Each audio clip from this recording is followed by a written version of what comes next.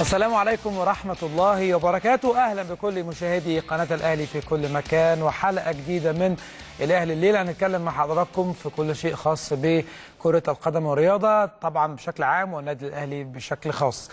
آه هيكون معنا إن شاء الله ثلاث فقرات. آه الفقرة الأولى الكابتن أحمد أبو مسلم الفقرة الثانية الأستاذ عصام شلتوت والفقرة الأخيرة الكابتن شريف عبد المنعم. هنتكلم معاهم وهنتناقش في كل الأمور الخاصة بملف كرة القدم وملف الأسبوع الرابع من جولات الدوري المصري الممتاز واللقاء القادم للنادي الأهلي أمام نادي الزمالك اللي المفروض إن شاء الله يكون نادي الزمالك. ده أمر طبيعي جدا. كلنا شفنا وسمعنا وقرينا البيان اللي مجلس الإدارة أصدره منذ أيام وموقف النادي الأهلي واضح وصريح، النادي الأهلي بيقول إنه يحترم الجهات الأمنية ويحترم الدولة المصرية بشكل كبير، لكن إنه يخوض مباراة قبل مباراة فده أمر مش هيتم، مش هيتم بسبب اللوائح والقوانين وبسبب جدول في الأول مشينا عليه، لكن كله بيقول ماتش أهلي وزمالك اتأجل ليه؟ هل الجهات الأمنية هي فعلا اللي أجلت المباراة؟ طيب دور الاتحاد المصري لكرة القدم أو دور اللجنة الخماسية اللي موجودة حاليا بتدير الكرة المصرية أو بتدير ملف الكرة المصرية. دور اللجنة إيه؟ دور اللجنة إن هي تقنع الجهات الأمنية وهي اللي تنسق وهي اللي تنظم كل الأمور الخاصة بمباريات كرة القدم. يعني الأسبوع الرابع نصه اتلعب، الأسبوع الرابع نصه ما اتلعبش. أهلي وزمالك بيلعبوا في الأسبوع الخامس طب مصير مباراة القمة طب ليه مباراة القمة من الأول ما دام هيكون فيها كلام وممكن تتأجل وممكن ما تكونش موجودة في الأسبوع الرابع. طب ليه من الأول ما كانش موجود فيه خطة واثنين وثلاثة؟ طبيعي جدا إن أنا لما أجي أدير في أي مكان أو في أي منظومة لازم يكون عندي خطة والبديل والبديل علشان لما تفشل الخطة الأولانية أروح للخطة الثانية أروح للخطة الثالثة لكن أنا بالنسبة لي الموضوع ماشي مش عارف راسي من رجلي. طيب بنقول التعصب ومش التعصب وإن تأجيل المباراة بسبب التعصب. طيب ما حضراتكم اللي بتعملوا التعصب وحضراتكم اللي بتعملوا الكلام اللي موجود ده كله. لكن لكن إيه لازمة إن أهلي وزمالك مباراة مهمة زي دي ومباراة؟ عشان بس يعني نرجع لنقطة مهمة قبل ما قبل ما أكمل كلامي إن الأهلي إن شاء الله كده كده بالنسبة للجمهور الأهلاوي يعني مفيش قلق مفيش أي شيء مش واضح. الواضح جدا قدامنا وإحنا شايفينه وسمعناه وقريناه في البيان. إن الأهلي مش هيلعب ماتش القادم غير بعد ماتش الزمالك. هيلعب ماتش الزمالك في الجولة الرابعة بعد كده يلعب ماتش الجونة في الجولة الخامسة وبالتالي اللعيبة بتستعد إن هي تلعب مباراة نادي الزمالك. وبالنسبة للنادي الأهلي هم كمان بيستعدوا إن اللقاء القادم هو لقاء نادي الزمالك مش مباراة الجونة. فعشان كده بقول لحضراتكم الدنيا واضحة جدا بالنسبة لنا. عندنا هدف وعندنا مباراة عارفين مين المنافس اللي موجود فيها ومين اللي مين اللي إحنا هنلعبه المباراة اللي جاية. لكن لكن ال ال الكلام والنغمات اللي بتبقى موجودة والتهديدات والكلام وخصم النقاط واللائحة. طب ما طبق اللائحة على نفسك الأول بعد كده تطبقها على النادي الأهلي. طبق اللائحة أنت من الأول طلعت وقلت والكلام مسجل وكلنا بنشوفه وبنسمعه. مش بس في قناة الأهلي في, في كل حتة في ال social media في على الفيسبوك على الإنستجرام على تويتر. حضرتك اللي طلعت وقلت إن الدوري هيبقى منتظم ما فيش ولا أسبوع هيتلعب قبل اللي قبليه. وده يعني حاجة كده مكتوبة. وكل الخمس أعضاء أكيد كانوا حاضرين الكلام ده. لكن رئيس اللجنه الخماسيه طلع واتكلم قال إن مفيش مباراة هتتلعب قبل مباراة. عشان كده بقول لحضراتكم تأجيل الماتش. هو دور اتحاد الكرة المصري إيه؟ أو دور اللجنة الخماسية إيه؟ إن هم ينظموا الم... يعني في تنظيم للمسابقة. هو التنظيم ده أي حد ينظم لكن أنت دلوقتي المفروض تطور المفروض تحسن المفروض تشتغل على السلبيات المفروض تشتغل على الإيجابيات عشان تطورها أكثر من هي موجودة. لكن حضرتك بتيجي دلوقتي مش عارف تعمل مباراة كرة قدم. طب ماشي ما الأهلي طب ما الزمالك بيلعب النهارده أو الزمالك هيلعب مع المقاولين كمان شوية. طب اشمعنى الزمالك والمقاولين ما فيش فيه مشكلة؟ طيب الجهات الأمنية قالت لحضرتك مش هينفع أهلي وزمالك. طب دور حضرتك إن أنت تقنع الجهات الأمنية تتكلم معاهم تقول لهم ممكن المباراة نلعبها في الاستاد الفلاني بدون وجود جماهير زي ما اتلعبت قبل كده في ختام الدوري وكنا في ممكن يكون في ظروف مش مش أحسن حاجة موجودة. لكن زي ما بقول لحضرتك أو زي ما زي ما بقول لحضراتكم ابدا الكلام الأهلي واضح دايما الاهلي الأهلي دايما مش بيقول كلام عشان يرجع فيه. الأهلي بياخد كلام أو بيقول الكلام مدروس كويس جدا. الأهلي بيقول كلام بيكون متناسق مع بعضه وعارف هو بيقول إيه. ما ينفعش الأهلي ابدا زي ما إحنا شفنا السنة اللي فاتت أو الموسم الماضي اللي هو السنة الحالية. مباراة الأهلي وبيراميدز في الكاس ولما الأهلي آه يعني الأهلي مش أخذ موقف على أساس إن هو بقى أخذ موقف فهينفذ اللي هو عايزه. لا ده بالقانون وباللوائح وبالورق الأهلي كان يحق ليه إن هو لن يلعب مباراة الدوري قبل مباراة الكاس. وبالفعل ال ال ال الأزمة أو مش أزمة هي أزمة بدون لازمة اتحلت بدون أي مشاكل. وبالفعل الأهلي لعب مباراته الأولى في في في الدوري وبعد كده لعب مباراته الثانية في الكاس. زي ما بقول لحضراتكم إن كان في كلام كتير جدا جدا يعني بيثار الفترة الأخيرة. لكن زي ما بقول لحضراتكم النادي الأهلي مش داخل آه، قضية أو مش داخل موضوع أو مش داخل مباراة وهو عارف إن هو غلط. لا الأهلي صح 100% واللي يقدر يقول غير كده يطلع يقول لي في وشي إن أنت بتقول كلام غلط وإن موقف الأهلي غير سليم وصحيح 100% هرجع وأقول وأعيد وأزيد تاني في في في, في السطرين أو في الجملتين المهمين جدا. الأهلي عارف هو بيعمل إيه خطواته محسوبة مدروسة ومجلس الإدارة كله حريص على مصلحة النادي الأهلي وحريص على مصلحة البلد. ككل.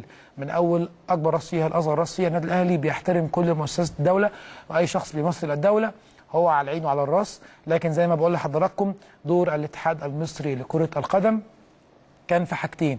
اولا الحالة الأولانية هو إقناع الجهات المسؤولة وإقناع الجهات الأمنية إن المباراة تكون في ميعادها وممكن تكون في ظروف مختلفة. الحاجة الثانية المهمة جدا طيب هو دلوقتي يعني الجولة الرابعة طب ليه تلعب نصها وليه مش هيتلعب نصها؟ يعني لازم يا جماعة يكون عندنا دوري دوري منتظم دوري يكون آه، يعني يليق بمكانة مصر الاجتماعية والرياضية. كله بيقول كلام وكله بيتكلم وكله كله كله. بس إحنا مش بنحاول نتكلم ونجرح قوي. بنحاول إحنا نتكلم بكلام محترم كلام إن هو آه، بمنطقية وبعقلانية. مش هنطلع نعمل زي غيرنا نعمل فتنة ونخبط ونقول ونعيد ونزيد ونقول كلام ونرجع فيه ونقول كلام ونرجع فيه. لا كلامنا هنا واحد وكلامنا مرتب ومنسق ومنظم. بنطلع بنكون عارفين بنقول إيه في الوقت المناسب في اللحظة المناسبة علشان ما نجيش نقول إحنا قلنا وبعد ما قلنا رجعنا وبعد ما رجعنا هنرجع تاني نعدل لا الأهلي كلامه واحد مش واحد علشان خاطر هو آه، آه، فوق الاتحاد المصري لكره القدم لكن الأهلي دايما هو معودنا على نظام. وكل اللي دخل النادي الأهلي سواء في آه، آه، ال- ال- الجهات أو في المنظومة الإدارية أو المنظومة الفنية بتكلم في لعبات آه، ال- المختلفة الرياضية أو حتى بتكلم على الإدارة بشكل عام مجلس الإدارة موجود في آه، إداري جوه النادي الأهلي في أي آه، فرع من الفروع عارف النظام وعارف السيستم اللي الأهلي بيمشي عليه وعارف إن الأهلي دايما لا يمكن يمشي على سطر وبيسيب سطر الأهلي ماشي على سطر وبيكمل بالسطر وبيكمل بالسطر. علشان كده بقول لحضراتكم آه، المباراة الجاية لكل الجماهير النادي الأهلي اللي بتسأل وبتبقى عارفة وعايزة تعرف أنا بقول لحضراتكم الأهلي طلع بيان وبالتالي الأهلي كلامه واضح وصريح المباراه القادمه للنادي الأهلي هي مباراة نادي الزمالك في الجولة الرابعة لبطولة الدوري المصري الممتاز. ده الكلام اللي طلع اتحاد كرة القدم لازم يحتوي ال ال ال البيان والخطاب. ولازم يتصرف في الأيام اللي جاية علشان خاطر تقام المباراة وده حق مشروع للنادي الأهلي وأنا ما أعتقدش إن النادي الأهلي بيفرط في حق من حقوقه زي ما دايما بيحافظ على حقوقه على مر التاريخ وعلى مر السنين. ده يعني بالنسبة لي هو كلام واضح زي ما حضراتكم شفتم وسمعتم. النادي الأهلي دايما بيكون عنده موقف حازم وصارم وصريح بالنسبة للعبه كرة القدم وبالنسبة لكل الرياضات الأخرى. لما يكون عنده حق لازم ياخده ابدا ما حدش يجي على حق النادي الأهلي علشان اللي بيجي على حق النادي الأهلي يعني في الآخر بيكون هو الخسران بيكون خسران بالقانون وباللوائح وبالقوانين علشان طول ما أنت موقفك صح ابدا ما تقلقش وما تخافش من أي شيء ومن أي حاجة. ده كان كلام سريع جدا بالنسبة للجزء الأول والكلام اللي أنا كنت عايز أقوله وأوضحه لحضراتكم بالنسبة للجولة القادمة والمباراة القادمة للنادي الأهلي وهي مباراة نادي الزمالك في الجولة الرابعة. مش عارفين موقف الجونة إيه لكن النادي الأهلي موقفه واضح وصريح إن إن النادي الأهلي إن شاء الله المباراه القادمه هي مباراة الأهلي والزمالك قمة الأسبوع الرابع. غير كده كله كلام بيتقال ما حدش ابدا يصدق أي شيء بيتقال. التهديد والكلام اللي بيتقال بدون أي وعي هو بيعمل إيه؟ حضرتك أو حضراتكم اللي بتقولوا فتنة والأهلي والزمالك والوقت بيكون حساس والكلام اللي حضراتكم عارفينه ده لل يعني يعني آه، حضرتك لل- للأسف إن إن هم اللي بيعملوا آه، آه، الفتنة. الفتنة ابدا مش هتكون بين الجمهورين ما بين إعلام. لازم يكون في إعلام سواء كان إعلام إيجابي وبيشيل حاجة اسمها تعصب ما بين الجمهورين وفتنة بين الجمهورين أو إعلام يكون موجود يعمل فتنة بين الجمهورين على فكرة جماهير الكرة المصرية بشكل عام هي ما وراش غير ان هي تتفرج على برامج أو تتفرج على ماتشات فأي كلام حضرتك هتقوله هيكون فيه فتنة أو هيكون فيه تعصب ده هينعكس على الجمهور سواء أهلي أو زمالك. دول هنا في قناة النادي الأهلي دايما عندنا مبدأ ماشيين بيه لا لا للتعصب. دايما بنتكلم بنتكلم في الاتجاه المظبوط في الاتجاه اللي دايما بيعمل موازنة ما بين كل شيء. ما بنجيش لحاجة على حساب حاجة لا بنيجي على الأهلي قوي ولا بنيجي للأهلي قوي. دايما بنتكلم فار وبنتكلم في حلول طرد جميع الأطراف. لكن حضرتك لو كنت أنا في موقف العكس إن أنا دلوقتي عندي زي ما لعبت في الموسم الماضي لعبت ماتشات مؤجلة قد إيه واتضغط عليا قد إيه وكان عندي إصابات قد إيه. ما جيتش قلت أنا مش هلعب علشان خاطر ظروف أو مش هلعب عشان خاطر عندي إصابات أو مش هلعب علشان خاطر وخاطر وخاطر.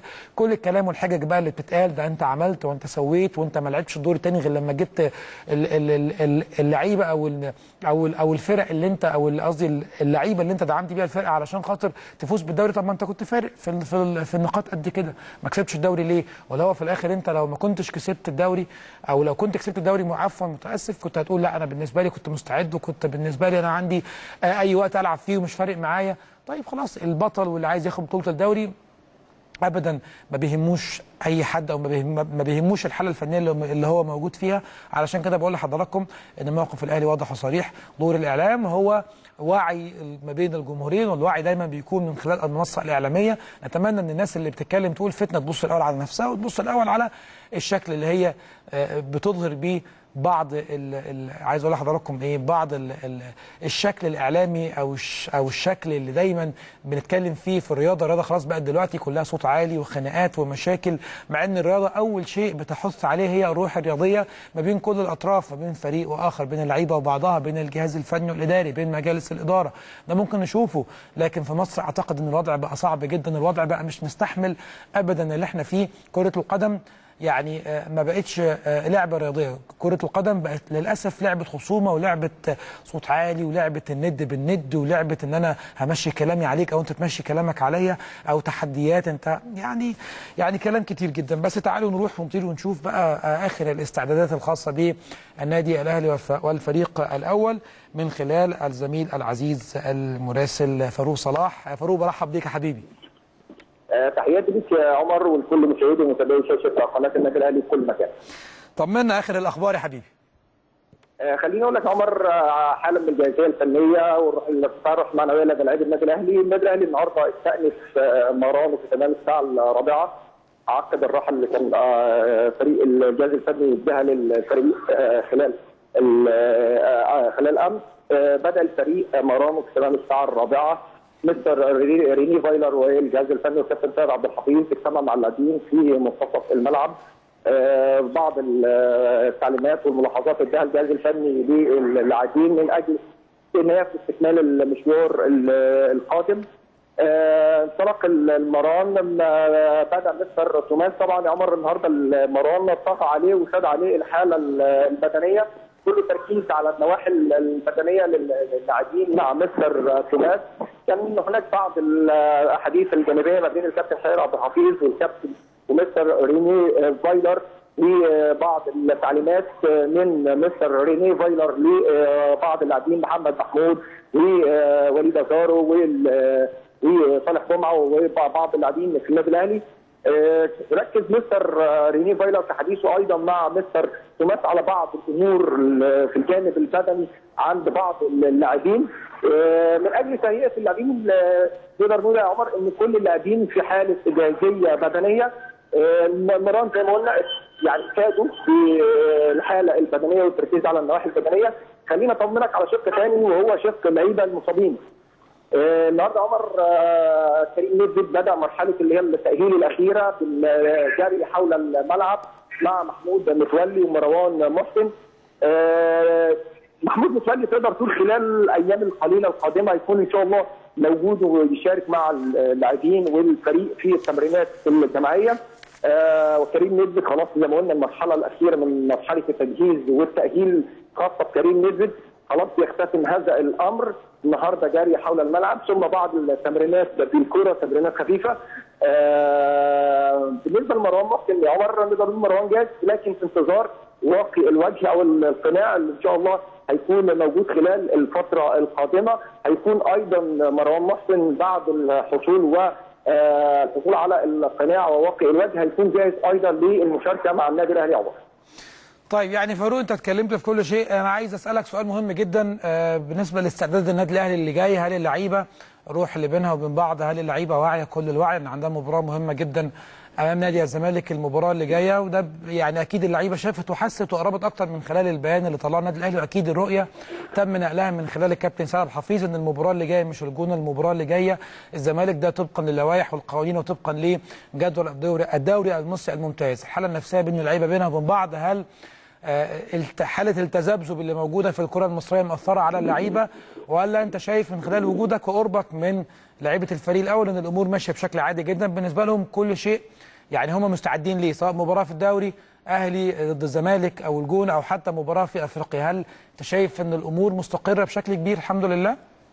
لا خلينا اطمنك أكتر. برضو يا عمر هنقول حالة التذبذب الموجودة والتضارب في القرارات آه، خارج نطاق النادي الأهلي وفي اتحاد الكره وفي القرارات منفصلة تماما تماما عن فريق النادي الأهلي وعن. آه، استعداده للقاء القادم للقاء. آه، الزمالك للاعبين في يعني في قمة التركيز الجهاز الفني مع اللاعبين فاصل تماما حالة التضارب والتذبذب الموجوده في القرارات الخاصة بمواعيد اللقاءات الخاصة باللجنة اللي بتدير آه، الاتحاد المصري لكرة القدم. كابتن سيد عبد الحفيظ ومستر ريني فايلر موفرين للاعبين الجو المناسب أو الجو الملائم للاستعداد للمباراة. اللعيبة مركزة جدا آه، يعني اللي كان مران الأهلي النهارده مش هيختلف عن ال- ال- ال- التمارين اللي فاتت في الأيام الماضية. لا هي حالة التركيز الموجودة الروح المعنوية الارتفاع الثقه عند اللاعبين. آه، بتشوف الثقة يعني مش الثقة على وجوه لاعبي النادي الأهلي علي معلول ورمضان صبحي. آه، حر- حراس المرمى الشناوي وشريف إكرامي وعلي لطفي. آه، ادعي وليد ازارو صالح جمعه محمد محمود قفشة حمدي فتحي. كل اللاعبين بلا استثناء تركيز تام يعني تقدر تقول هي حالة الثقة الموجودة عند اللاعبين والتركيز مستمره في النادي الأهلي مش مش يعني نقدر نقول ما فيش أي تأثير للتضارب الخارجي على الفريق. لا الفريق مستعد. كل اللاعبين جاهزين. بالنسبة لهم مباراة الزمالك مباراة زي أي مباراة في ال- في الدوري. الفريق بيستعد لها. أيضا اللاعبين برضه اللعيبة في في تركيزها المشوار الإفريقي مشوار الدوري. كلها امور يا عمر اللعيبة لا مركزة فيها. أعتقد إن ماليش مفيش أي تأثير لحالة التذبذب الخارجية. في قرار اتحاد الكرة على اللاعبين تماما. ده كان كلام مهم جدا يا فاروق. بشكرك شكرا جزيلا على وجودك معايا الزميل العزيز فاروق صلاح من آه، نادي الأهلي بالجزيرة. واخر الأحداث والأخبار اللي حضراتكم سمعتوهم آه، سمعتوها واطمنتوا بيها على الفريق الأول سواء من آخر الاستعدادات أو حتى المصابين. وعودة كريم ندفد أكيد إن شاء الله تكون مرحلة مهمة جدا ومرحلة جديدة آه، ويقدر إن هو يرجع تاني وينور مع زمايله جوه الملعب ويتالق من جديد وربنا يكفيه دايما ويحميه من شر الإصابات. ده كان جزء خاص بالفريق الأول.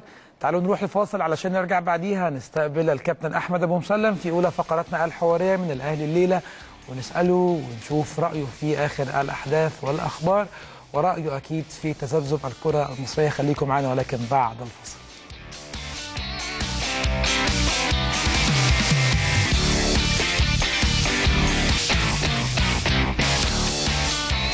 أهلا بحضراتكم من جديد. وأولى فقراتنا الحوارية مع واحد من نجوم مصر والنادي الأهلي الكابتن أحمد أبو مسلم. كابتن أحمد برحب بيك. ازيك يا عمر؟ منور يا كابتن. أخبارك إيه؟ أخبارك إيه؟ حبيبي الحمد كله لله. تمام؟ كله كويس الحمد لله. يعني في البداية طبعا عايز أسأل حضرتك وأقول لك رأيك في آه، بيان النادي الأهلي الأخير. لكن قبل البيان رأيك في تأجيل ماتش القمة. يعني حضرتك راجل لعبت كرة قدم على المستويين المستوى المحلي والمستوى العالمي. راجل لعبت في في الدوري الفرنسي لعبت في الدوري المصري لعبت منتخب مصر وحصلت على ثالث العالم بطولة أفريقيا. فأنت راجل احتكيت كتير جدا. فتقدر تقول لي الحالة اللي موجودة فيها كرة القدم من تذبذب وعدم استقرار؟ و بنتكلم بقى في تأجيلات رابع أسبوع. طب الدوري الرابع ال- ال- ال- الجولة الرابعة اتلعبت نص منها ونص تاني ما اتلعبش. فرأيك بشكل عام؟ عمر زي ما انت قلت ال- ال- الحلقة اللي قبل كده كنت اتكلمت معاك فيها قلنا أول حاجة ال- الإداريات أو ال- اتحاد الكورة لازم يكون مسؤول عن كل حاجة إدارية موجودة اللي هو التنظيم. وشفنا راجل حط جدول كويس وقال لك مفيش تأجيلات. يعني بشرنا خير يعني بس رجعنا للعكس رجعنا تاني نفس الموضوع. إحنا بنتكلم النادي الأهلي آه، بيتكلم على حقه مش بنتكلم أكتر من كده. اللي أنت راجل مديني مواعيد ومديك جداول معينة ومديك مطوشه معينة أقدر أعمل ال system بتاعي عشان أقدر أشتغل. الفترة اللي جاية شغالة إزاي؟ بالذات في عندي مطوشه أفريقيا عندي مطوشه بقدر أحتك. دلوقتي شايفين الراجل بيعمل rotation بشكل كبير فيقدر يعمل شكل بالظبط. بالذات أنت كمان خلي بالك أنت بتحسبها إحنا بنحسبها كمشاهدين. غير المدير الفني المدير الفني بيحسبها ورقة وقلم بيحسبها عندي هاخد كام بونت الماتش اللي جاي. الاصابات مين اللي هيرجع؟ فاحنا بنتكلم النادي الاهلي بيدور حقنا الفترة دي كمان إحنا بنتكلم اللي انت آه، فايق الفترة ديت والفرقة ماشيه بمستوى الكير بتاعها ما شاء الله عالي جدا والراجل المدير الفني برضك عمل يعني نوعا ما آه، أداء كويس مميز بس إحنا مش هنتسرع لحد لما نشوف برضك ال- المواجهات القوية يعني اللي بنتكلم فيها. إحنا بنتكلم بنتكلم على الحق بتاعك فلازم الطبيعي اللي انت تدينا حقنا مش هنفضل كل شوية نرجع ولسه ما لعبناش ماتش أفريقيا خلي بالك.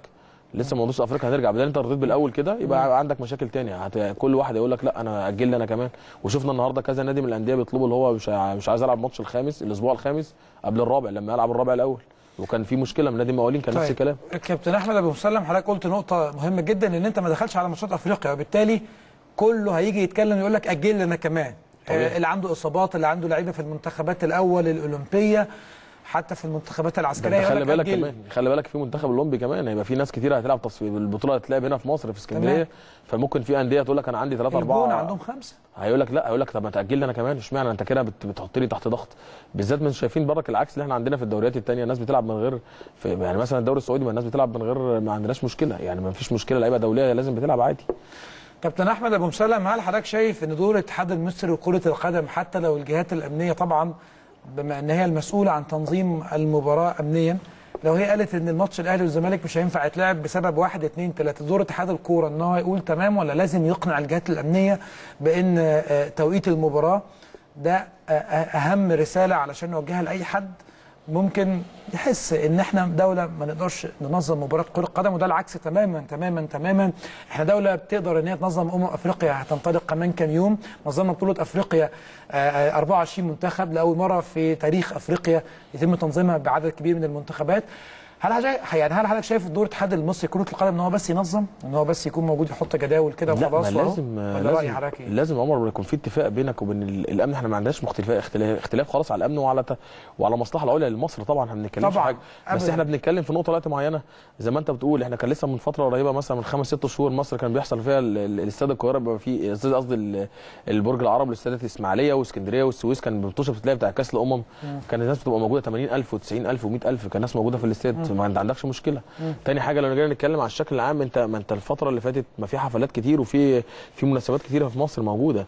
إحنا مش بنتكلم على دوري أهلي وزمالك. يا إحنا عايزين نلعب يا عم أهلي وزمالك من غير في برج. العرب من غير جمهور من غير جمهور مش عايزين جمهور. آه. إحنا مش عايزين نلجا للجمهور مش عايزين جمهور. انت في بالك سنة بتلعب من غير منع الجماهير بتدخل 3000 إحنا مش عايزين 3000 ولا حاجة. إحنا عايزين ناخد نلعب في برج العرب من غير جمهور. وتمشي المسابقة خلي بالك زي ما انت قلت بدل انت نزلت في أول خطوة يبقى الدوري كله هيبقى فيه تنازلات. مش بنتكلم دلوقتي إحنا مش بنبص في يوم وليلة النادي الأهلي أو الزمالك ده أكبر حاجة موجودة. بس بدل انت تريت كده لازم الأندية الثانية لازم يكون فيه مساواة. فدي المشكلة الكبيره آه، اللي إحنا دلوقتي إحنا مستثمرين اللي إحنا عندنا جدول عايزين نمشي عليه و... وانت شايفين متبشرين خير باللجنة الخماسية اللي هي تقدر تدير بالكره المصرية بشكل مميز. مفيش تأجيلات وراجل لما عمل قرعة آه، بتاعت بطولة الدوري شفنا شكل جوا... شكل مختلف وقلنا بشرنا خير بس إحنا كده شكلنا بنرجع تاني ورا. يعني إحنا شكلنا هنرجع تاني نفس الخطوات السنة اللي جاية. يعني هنفضل نفس الكلام النادي الأهلي مثلا يروح في في أفريقيا نيجي زي هيلاعب فرقة ثانية يقول لك لا أجل لي ماتش يومين ثلاثة عقبال ما أجي عشان ظروف الطيران. خد بقى قيس على نفسك كده هيبقى الدوري برضك هيبقى فيه مشاكل. هيبقى بدل أول حاجة ابتديتها بمشاكل هيبقى فيه مشاكل. إحنا بنتكلم إن إحنا عايزين حقنا حق أصيل اللي إحنا بندور على مصلحة النادي الأهلي. اللي أنت دلوقتي. طيب رأيك في البيان يا كابتن أحمد؟ البيان اللي صدر من النادي الأهلي بي- طبعا بيوضح فيه إن هو يعني آه هيحتفظ بحقه وهو عدم لعب مباراة الجولة الخامسة قبل الجولة الرابعة وإن المباراة المقبلة للفريق هي مباراة نادي الزمالك. شفت البيان ده؟ يعني من وجهة نظرك هل هو حق للنادي الأهلي والتمسك بحقوقه إنه يلعب ماتش الزمالك قبل مباراة الجونة؟ ولا رأي حضرتك بس عشان نوضح الأمور ومن زي ما إحنا بنقول إن إحنا فير هل حضرتك شايف إن الأهلي مزود في البيان أو الأهلي ملوش حق إنه يعمل كده؟ خالص إحنا بنتكلم على حقنا النادي الأهلي وده يعني اللي شفنا البيان اللي طالع بيان محترم جدا بت- بت- بتدور على مصلحة النادي الأهلي وال- والقواعد المسابقة اللي أنت مديهاني يعني مش أنا اللي حطيت الجدول ده هو أنا اللي حطيت المواعيد النادي الأهلي حط المواعيد. اتحاد الكوره هو المسؤول عن المواعيد بعت لي جدول جدول بالمنتوشه بتاعتي. يبقى انت المقر اللي انت لازم تعمله اللي انت لازم تنفذه. ما ينفعش تقول لي الجهه أمنية أو أو حاجة أمنية أو يعني مهما كان السبب اللي هو مش موجود. النادي يعني مصر كلها بت- بتنظم كل يوم مؤتمرات فوق فيها الألافات. فإحنا بنتكلم اللي انت عايز. لو انت كنت عايز تنفذ الماتش وعايز تدور على ال- النادي كنت بتاعك رحت وساعتها تقنع الجهات الامنيه تقول لها ما ينفعش لازم- لازم الموضوع يبقى بدون جمهور ودي حتى أسوان ودي حتى الأقصر بس أي حتة. أي اتجاه إحنا مش آه. بنتكلم بس بنتكلم إن أنت المبدأ نفسه مرفوض أنت بتتكلم المبدأ نفسه اللي هم رافضينه شفت يا كابتن ماتش آه، ريال وبرشلونة آه، إزاي آه، رابطة ال- ال- الليجا الأسبانية قالت إيه للناديين؟ قالت لهم أنا هديكم مهلة لحد يوم 26 أكتوبر تتفقوا فيها أنتوا الاثنين مع بعض على ميعاد. لو اتفقتوا وصلتوا للميعاد هتبلغونا هنمشي عليه وخيروهم طبعا ما بين مواعيد مح... يعني مواعيد معينة. قالوا لهم لو الميعاد عدى من غير ما ترجعوا لينا بقرار إحنا هنحط التاريخ. لا بس ما أنا تخيل يا كابتن أحمد ما أنت بص عمر خلي بالك زي ما قلنا من أول الموضوع كله والمشكلة كلها كان السنين اللي فاتت في في بالنسبة للمنتخبات أو الأندية أو الحاجات دي كلها كانت إيه؟ التنظيم ما عندكش plan موجود من أول السنة اللي أنت تقدر تحط مثلا من يوم واحد لحد يوم 31 وقلت لك مثلا لما مثلا كنت بنلعب في أوروبا كنا بنعرف يوم هبتدي يوم واحد يوم 20 هنزل أحجز ال ticket بتاع الطيارة بتاعتي. حاجز أصلا طيارة بتبقى حاجز كل. حاجة. وإحنا طبعاً. بنتكلم في كده. هي المشكلة دلوقتي اللي إحنا عندنا آه، تنظيم. عندنا مشكلة مثلا نروح مش عارف آه، الناس كانت موجودة قديمة الحاج مش عارف مين نروح لمين آه، عايزين معلش عشان خاطر إن العيال جاية مجهدة نأجل الأسبوع. مش عارف إيه نفس الكلام. فده اللي بيتكلم اللي إحنا بنتكلم فيه. ال- الناس اتغيرت بس السيستم هو هو. إحنا بنتكلم الناس اتغيرت ويعني المدير اتحاد الكورة هو هو نفس اللي هي هي نفس الموجودة. يعني لو فضلنا القرار اتنفذ والدنيا مشيت زي ما هي كده يبقى الموضوع هو هو إحنا ما عملناش حاجة ما اختلفناش حاجة هي هي الإدارة موجودة الشكل العام انت مثلا بتجيب حد ما كانش آه، ما كانش ليه سابقة قبل كده في الاتحاد اللي هو ما كانش بيدير بشكل كبير الناس كلها جديدة بس هو هو نفس السيستم والناس هي هي الموجودة ونفس اللجان هي هي اللي جوه نفس الكلام إحنا ما عملناش حاجة بس لجنة المسابقات اتغيرت مسابقات لجنة اتغيرت بس مين اللي. بياخد القرار يا عمر؟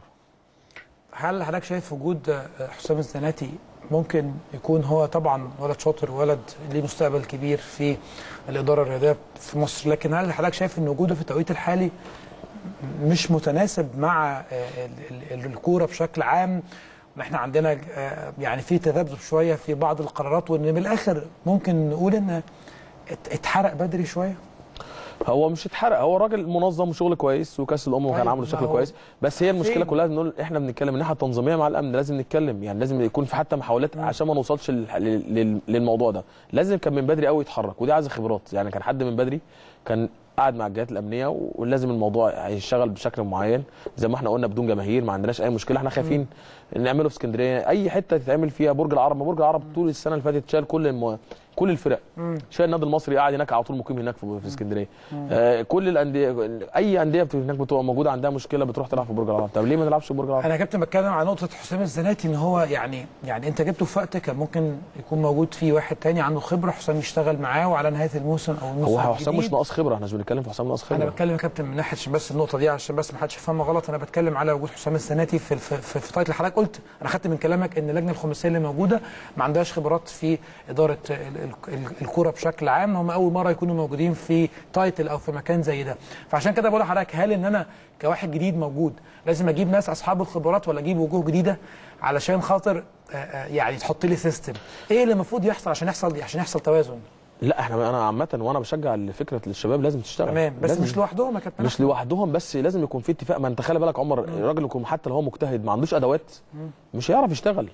أنت فاهم إزاي؟ لازم تديني الأدوات والصلاحيات لازم تتكلم لازم نشوف. مثلا النهارده حطينا جدول اللي هو راجل حط الجدول وعمل قرعة بشكل مميز جدا الناس كلها شافت. حلو قوي آه، الفترة اللي هو حط لك الجدول ما عندوش مشكلة. أنت دلوقتي شفنا كابتن بعد القرار ناس قالت ناس قالت لك بقى الحاج عامر والحاج عامر وفرق الحاج عامر عن عن حسام. الناس فاكرة حضرتك إن القرار ال- دايما زي ما زي الكلام كان زي ما حضرتك آه.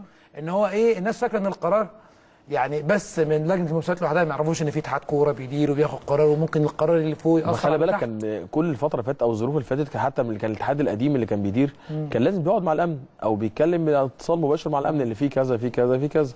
فإحنا بنتكلم هو ده لازم اللي يحصل لازم يكون فيه كونتاكت مع الناس عشان تعرف تتكلم. ما ينفعش إن أنا مش عارف أسيطر أو مش عارف أدير بشكل معين. أجي اطلع الحجه اللي هي مثلا آه، يعني ظروف امنيه. ده بالعكس انت كده بتضر البلد في حاجات كتير. يعني انت بتتكلم في حاجات كتير. ده مصر لسه داخله على كاس آه، كاس الامم لسه منظماه بشكل مميز والناس كلها مبسوطة. ولسه عندنا أمم ولسه 23 عندنا. طبعا 23 سنة منتخب أولمبي بتاع كابتن شوقي غريب.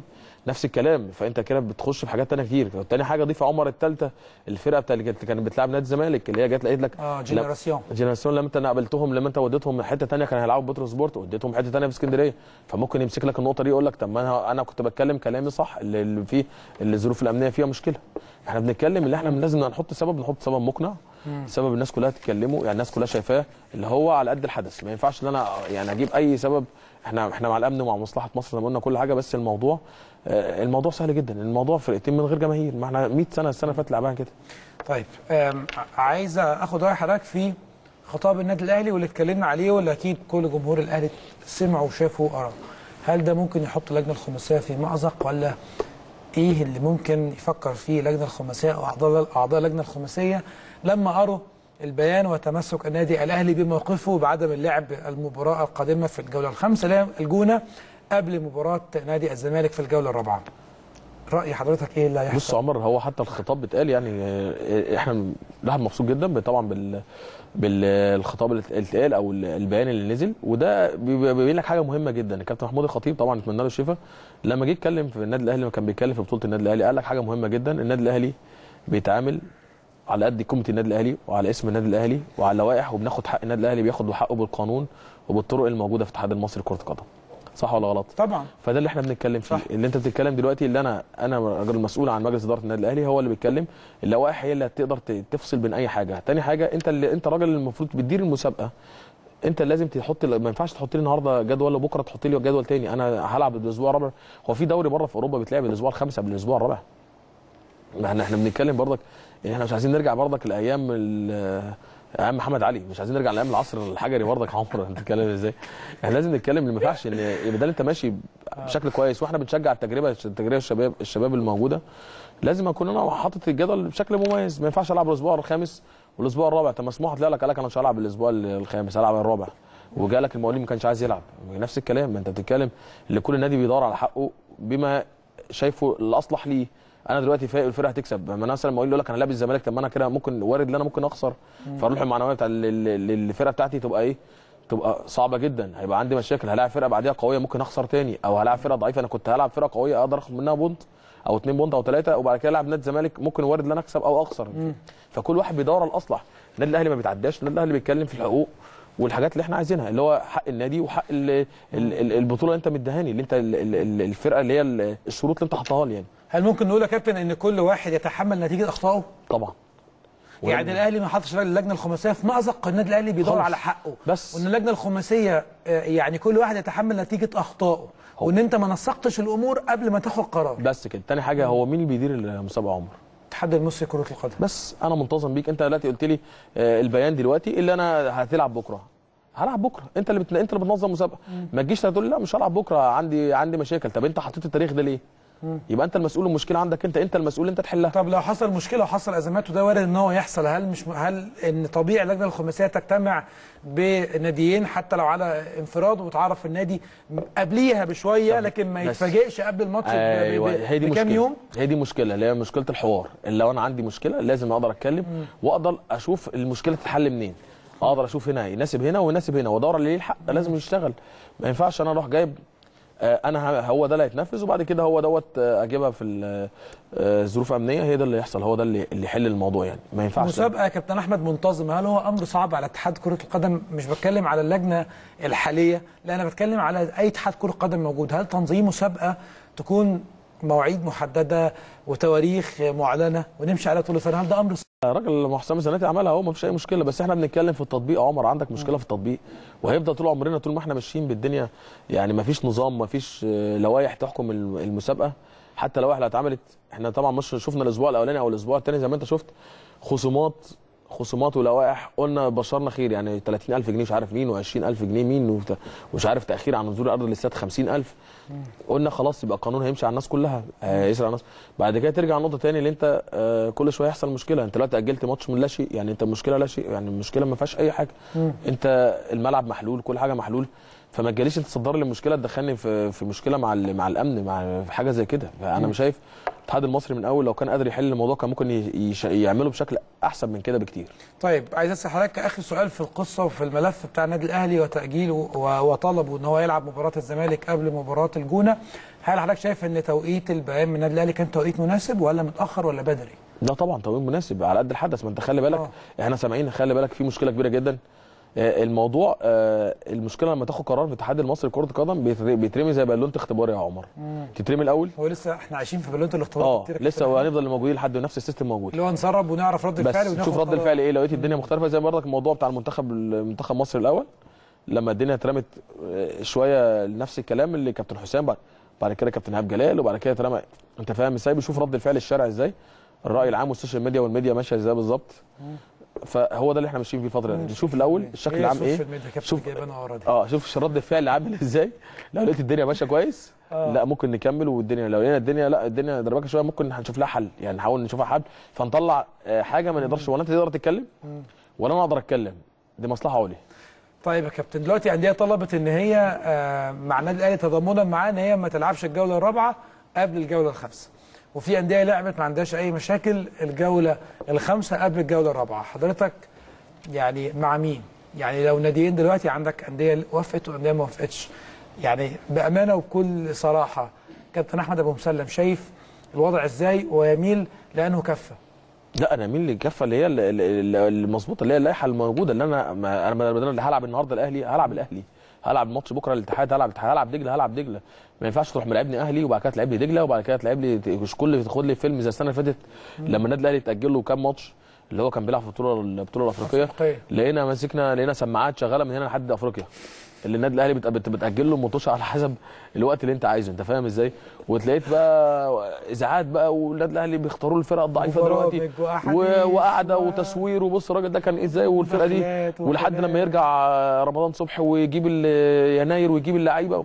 طب انت بتتكلموا إزاي؟ طب إحنا دلوقتي ما عندناش مشكلة. إحنا ممكن نلعب في أي حتة. خدنا في الهند هنلعب. آه إحنا بنتكلم إحنا ما عندناش مشكلة. دلوقتي المشكلة انت عندك هتدير هتعرف تدير مسابقه ولا مش هتعرف تدير مسابقه طب هم دلوقتي لو حد حد بيتفرج علينا وقال لك والله دول مش فاهمين حاجة وعمالين يقولوا كلام وفي المسابقة عشان تتنظم بتاعتك. 1 2 3 4 يعني رأيك إيه؟ يعني وارد ان ده يحصل وارد ان ده يتكلم عمر هي يعني المسابقة هي هي المسابقة بتاعت الدوري المصري أو اللي أنت حاطه ال- ال- الأسابيع. دي عايزة مشكلة؟ ما أنا أنا نفسي أعرف هو إيه المشكلة في تنظيم بطولة بتواريخ معينة آه، ولو حد بيقول لك الموضوع يا جماعة مش زي ما أنتم فاهمينه. طب أنا عايز أفهم إيه اللي إحنا مش فاهمينه؟ يعني يا كابتن الكلمة دي في الإعلام بقى لها كام يوم؟ هي الناس ليه بتهاجم اللجنة الخماسية ومن نهاجم يعني مش نهاجم طبعا. بتدير مش هي اللي بتدير طب طب نسأل في مين؟ ولا ولا كابتن نقول لمين يعني نروح مين؟ نروح للأندية؟ ما الأندية مالهاش دعوة. ما أنا بقول لك أنت بتسأل الراجل المنهوض اللي هي الاتحاد المصري لكره القدم هو اللي بيدير. فأنت بتسأل الراجل اللي بيدير. الراجل اللي بيدير هو عنده جواب دلوقتي ما بيتاخدش منه حاجة. لازم الأول يرمي لك حاجة تشوف أنت رد فعلك إيه وبعد كده لما جاتش يدخلك في اتجاه تاني خالص؟ آه لازم يديرك من اتجاه تاني خالص بعيد عن كل البعد عن الكورة. يشوفك أي حاجة. إحنا بنتكلم في مسابقة آه، أي حد يقدر يعمل مسابقة يا جماعة. ده ده ده تواريخ بنشوف النادي الأهلي عنده مطوشه إمتى ونادي الزمالك عنده إمتى الناس المشتركة في أفريقيا. فاهم إزاي؟ واعمل الجدول واشوف احدد إمتى. وادي له واسع خمس ست أيام اللي بيكون عنده مساحه لو حصل مشكلة ممكن يوم أو يومين مش هيعملوا حاجة انت فاهم إزاي؟ والدوري تمشي على كده. بس ما حدش بقى حتى لو فرقة عندها زي ما قلت لك الفترة الجاية منتخب أولمبي لازم هشوف البديل مش هعطل الدوري الممتاز عشان أربع لعيبة أو خمس لعيبة. ما الكلام ده ما بيحصلش برضك. لازم ال... الكلام ده تتكلم في المسابقات اللي هي التواريخ الدولية اللي هي فيها مطوشه ومنتجمات منتخبات. ما عنديش مشكلة. أمال طول ما أنت الدنيا ماشية كويس وفي ما عندناش مشكلة ما... ليه نأجل؟ ليه كل شوية نأجل عشان آه مثلا آه، ظروف تانية؟ يا جماعة ده مصر يا جماعة أكبر من الكلام اللي إحنا بنقول عليه خالص ده. كابتن أحمد ثلاث أسابيع ونص من مسابقة عمر الدوري الممتاز. بتكلم على الثلاث أسابيع الأسبوع الأول والثاني والثالث والرابع الأسبوع اتلعب منه شوية إحنا في الأسبوع الخامس دلوقتي. ما إحنا إحنا إحنا رابع والخامس. إحنا نطينا سيبنا الرابع ودخلنا على الخامس. لا في ماتشات رابع اتلعبت. آه. في ماتشات رابع اتلعبت امبارح. عشان كده بقول لحضرتك رأيك في المسابقة لما لما كانت ماشية منتظمة قبل ال- الكلام ال- الخاص بمباراة أهلي وزمالك رأي حضرتك فيه إيه؟ ورأيك في مستقبل المسابقة أو شايف المسابقة هيبقى مستقبلها عامل إزاي بعد اللغط الكبير والكلام الكبير؟ وبدأنا في قصة التأجيلات بدري بدري. فرأي حضرتك إيه؟ هو إحنا كنا طبعا كنا مبسوطين متبشرين خير بس بعد الموضوع الحدث اللي حصل دوت أكيد هيبقى في هيبقى في مشاكل تانية هيبقى في توابع. خلي بالك ما في أندية برضك هتخش في أفريقيا وهتلعب. فطبيعي أنت اجلت لي يمكن لازم هتأجل لي. وفي فرق تانية هيبقى عندها برضه مصلحتها اللي لعيب عندها مصاب أو عنده مشكلة أو عنده حاجة لازم هيأجل. هيقول لك آه اديني أنا كنت بلعب في أفريقيا. مين هيلعب في أفريقيا السنة دي؟ مش بيراميدز بيلعب السنة دي؟ كمان مع الأهلي والزمالك؟ أهلي وزمالك وبيراميدز. بيراميدز بس نفس. الكلام.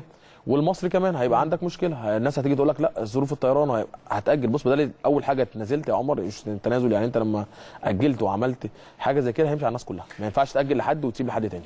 كابتن أحمد هل ممكن قرار تأجيل يربك حسابات مدير فني أو فرق بمعنى؟ عشان بس الكلام يكون واضح والسؤال مفهوم لحضرتك. إن مثلا استعداد الجونة للماتش اللي جاي ما كانش الاهلي فأنا ممكن يكون لاعب واخد إنذارين وأنا مخليه ياخد إنذارين علشان خاطر يلعب ماتش الأهلي بدون أي مشاكل. لعيب عندي مصاب فأنا بعده بكل ما اوتيت من قوة بالجهاز الطبي اللي موجود علشان يكون جاهز لماتش الأهلي. هل يا كابتن قرار التأجيل ده وإن الف- الفريق يلعب مكان فريق في ماتش وميعاد مش ميعاد وهل ده ممكن يربك الحسابات الفنية للفرق مش الأهلي والجونة بس؟ هي فنيا طبعا بيبقى فيها مشكلة كبيرة جدا. مم. أنا كمدير فني عارف إن النهارده أنا في أول الأسابيع اللي خلي بالك الأسابيع الأولانية دي عمر بيبقى في أندية بتلم بناط يعني بتلم زي الحرس حدود مثلا عمال يتسحب وعمال ياخد بناط كويس. يعني كسب امبارح كسب الإسماعيلي. الإسماعيلي 1-0 بقى له دلوقتي عنده بقى سادس. انت فاهم إزاي؟ فالأسابيع الأولانية دي انت طول ما انت مش فايق أو أو مش في فورمتك بتلعب الفرق ال- الكبيرة في الأول. ممكن انت بتلم بسرعة. هم مش لسه ما دخلوش في فورمه المباريات. انت فاهم إزاي؟ ففي حد يقول لك أنا قابل النهارده النادي الأهلي في الأول والناس يقول لك لا قابل نادي الزمالك لسه ما جهزش أقدر آخد منه بونت أو اثنين أو ثلاثة غير لما يلعبوا بعد أصلا خامس جولة أو سادس جولة أو سابع جولة. انت فاهم إزاي؟ هل الحمل البدني وإن كل مدرب بيجهز لعيبته فنيا وبدنيا بيكون له علاقة بترتيب الماتشات؟ طبعا. ما انت خلي بالك أنا. كابتن اتحاد الكورة فاهم فاهم الكلام ده. ليه ما ليه ليه ما بيفكرش في الكلام ده؟ ليه ما بيفكرش في أكل عيش مدير فني وبيفكر في أكل عيش فريق وبيفكر في في جمهور بيفكر في مصلحة الفريق؟ ليه فاكرين إن كل مباراة زيها زي غيرها؟ است- بستعد للأهلي زي استعد للجونة زي خلي بالك اللي ممكن مديرين اسماعيلي خلي بالك في مدير مديرين فنيين ممكن يمشوا. ما أنا بتكلم في كده أكل عيش. آه طبعا. الموضوع بيبقى صعب جدا. اللي أنت مثلا عندك الثلاث منتشر أو الأربع منتشر الأولانيين في تعادل وهزيمة ومكسب. فممكن النتائج مش مساعداك قوي تروح ملاعب فرقة مثلا كنت هتلعبه الأسبوع الخامس يعني فاكر الماتش الرابع هيبقى عندك سهل شوية تكسبه وتخش على الخامس تروح أنت لاعب الخامس تروح خسران تروح أنت ماشي. يعني غير بقى كمان زي ما أنت بتقول كده في لعيبة هتبقى أنت عامل حسابك اللي أنت هتاخدهم على على الماتش دوت أو عنده انذارات فهقدر أخليه افقد الماتش ده عشان العب الماتش اللي بعديه. فدي كلها فنيات فيها حاجات مشاكل كتير جدا. إحنا مش بنتكلم بس إحنا بنتكلم على الم- على على المبدأ نفسه. إحنا سيبك من الفنيات دي كلها مقدور عليها. إحنا بنتكلم دلوقتي على المبدأ نفسه. هو أنا دلوقتي إيه، أنت ليه بترجعنا لورا؟ اللي كنا بنطلع لقدام بنرجع تاني الخطوه لورا ليه؟ اللي هي عشان تنظيم. يعني إحنا آه ناس ظلمت الحاج عامر وقعدوا يقولوا الحاج عامر الحاج عامر. طب ما السنة دي ما إحنا. دخلنا نفس القسم ما هي السيناريو واحد. هل ده يثبت إن آه، آه، رئيس لجنة المسابقات هو آه، ينظم بس وملوش قرار في أي حاجة تانية ولا آه، رئيس لجنة المسابقات ممكن يقرر وممكن ينفذ رأيه أو ممكن يمشي رأيه؟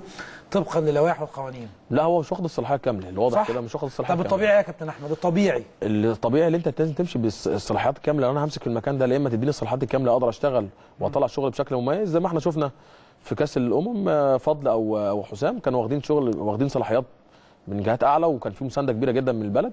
فعشان كده طلع المنظر اللي إحنا متوقعينه اللي هو المنظر المحترم اللي يليق باسم مصر. طيب من كام واحد يا كابتن ممكن يوافق يرفض؟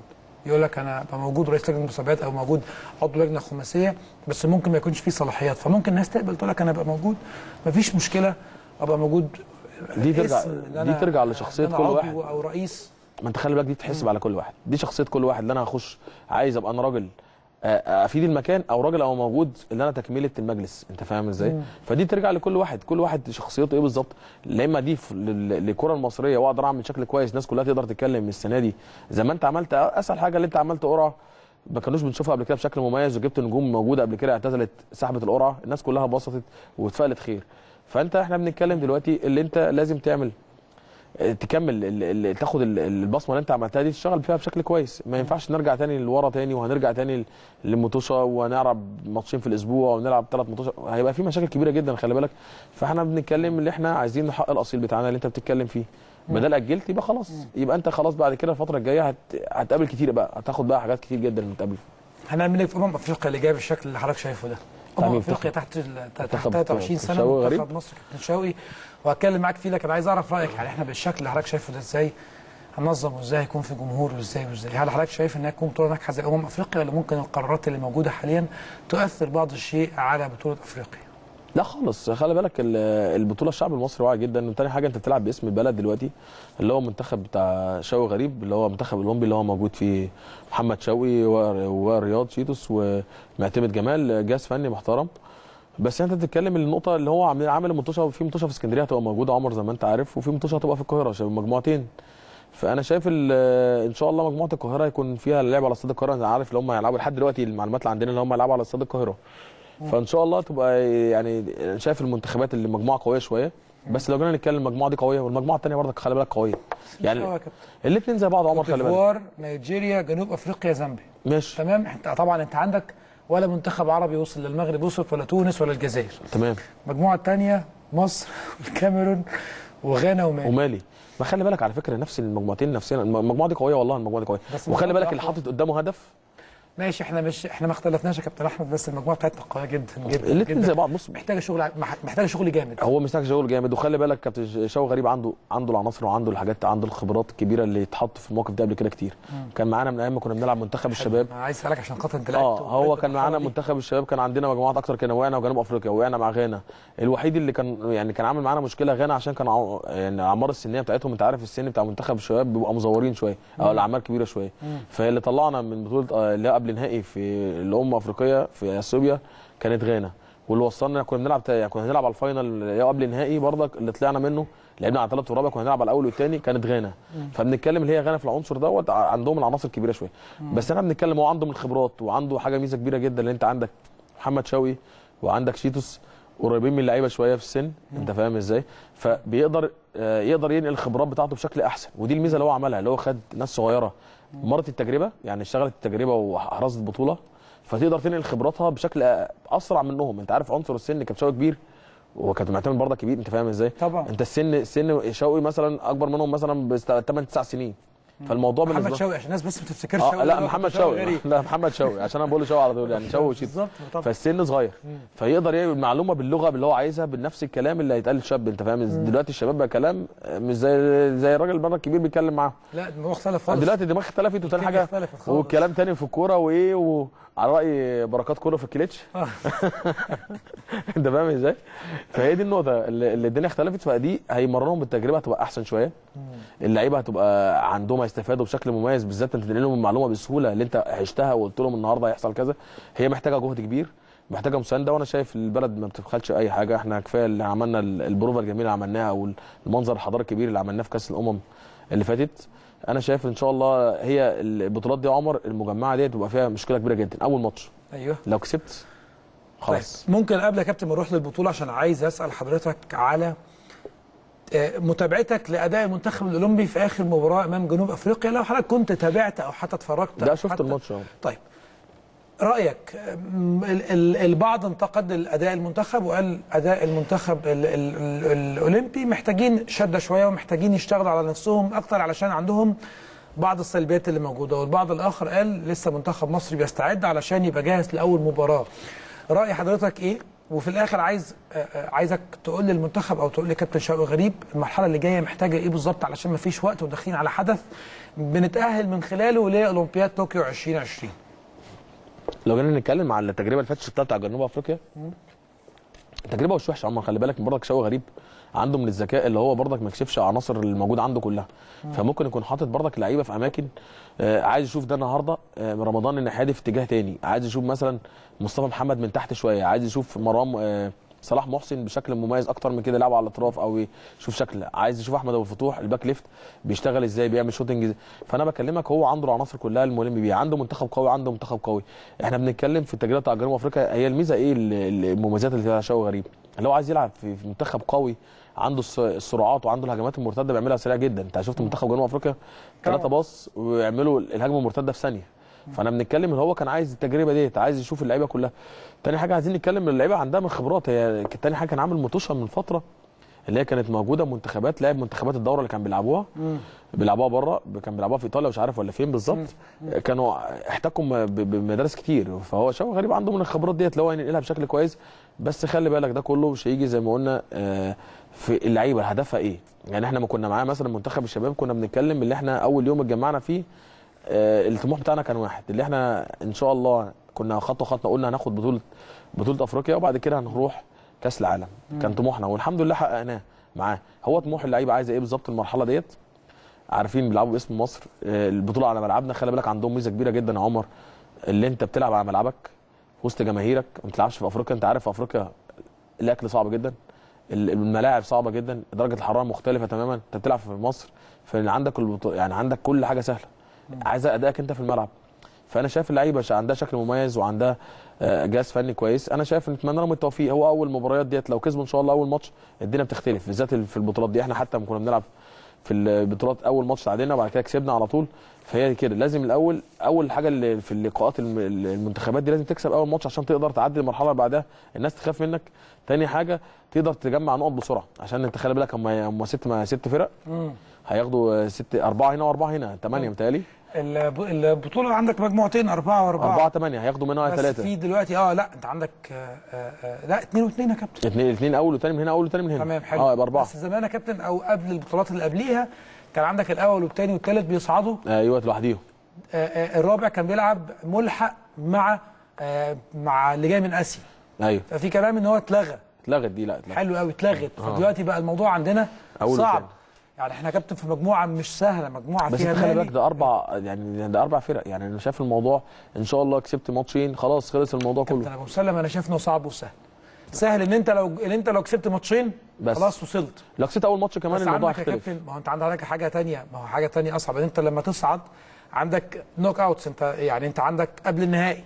فأنت لو صعدت للمباراة النهائية أنت خلاص وصلت ما عندكش أي مشكلة خالص. لكن لو لا قدر الله خسرت هيبقى عندك فرصة إن اللي قدامك على الثالث والرابع إن الثالث ده يصعد يروح مباشرة للأولمبياد الرابع يخرج ما إحنا بنتكلم بقى في ليه أول ماتش ده 50% من من من البطولة كلها بالظبط كده. آه، كسبت أول ماتش مهمين جدا. بس أول لقاء 3 بونت دول 50% أنت رجلك جوه فهي دي النقطة اللي بنتكلم فيها اللي هي زي ما قلت لك الماتشات البطولات اللي هي مجمعة دي لازم تكسب أول حاجة مين من المنتخبات يا كابتن أحمد اللي إن شاء الله إن شاء الله تتوقع إنها تصعد مع منتخب مصر؟ هل حضرتك شايف كاميرون ولا غانا ولا مالي؟ ناس مش مدية مالي. القوة بتاعتها مالي منتخب قوي جدا عارف يعني كلهم. زي بسم الله ما شاء الله أليو ديانج كده هاي. يعني بس أنت بتتكلم في المرحلة دي عندك غانا بتبقى مميزة جدا. طبعا. والكاميرون. والكاميرون بتبقى صعبة شوية بتبقى هم دول صعبين شوية. ممكن مالي يعني أقلهم شوية بس مالي كورتها برضه كويسة. التطور الفترة اللي فاتت بقى المنتخب الأول كمان شفناه هنا.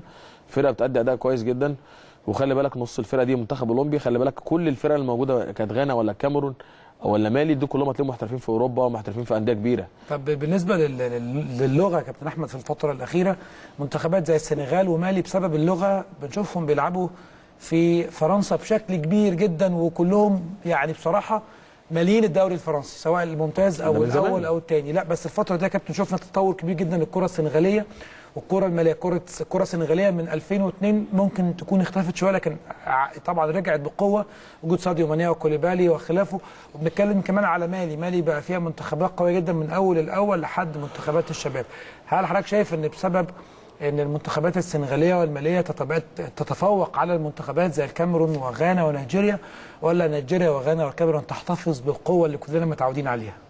لا زي ما قلت لك المدارس دي كلها مدارس قوية جدا. السنغال أو المغرب آه، السنغال أو الكاميرون أو نيجيريا دي كلهم أنا عايز على طول السنغال اللي هم. الفرنش لوحدهم السنغال لا هم دول. كلهم خلي بالك اللي هم ال franco اللي هم بيقولوا الفرانكفون ان هي بتلعبوا دورة الفرانكفون اللي بيروحوا يلعبوا. فيها.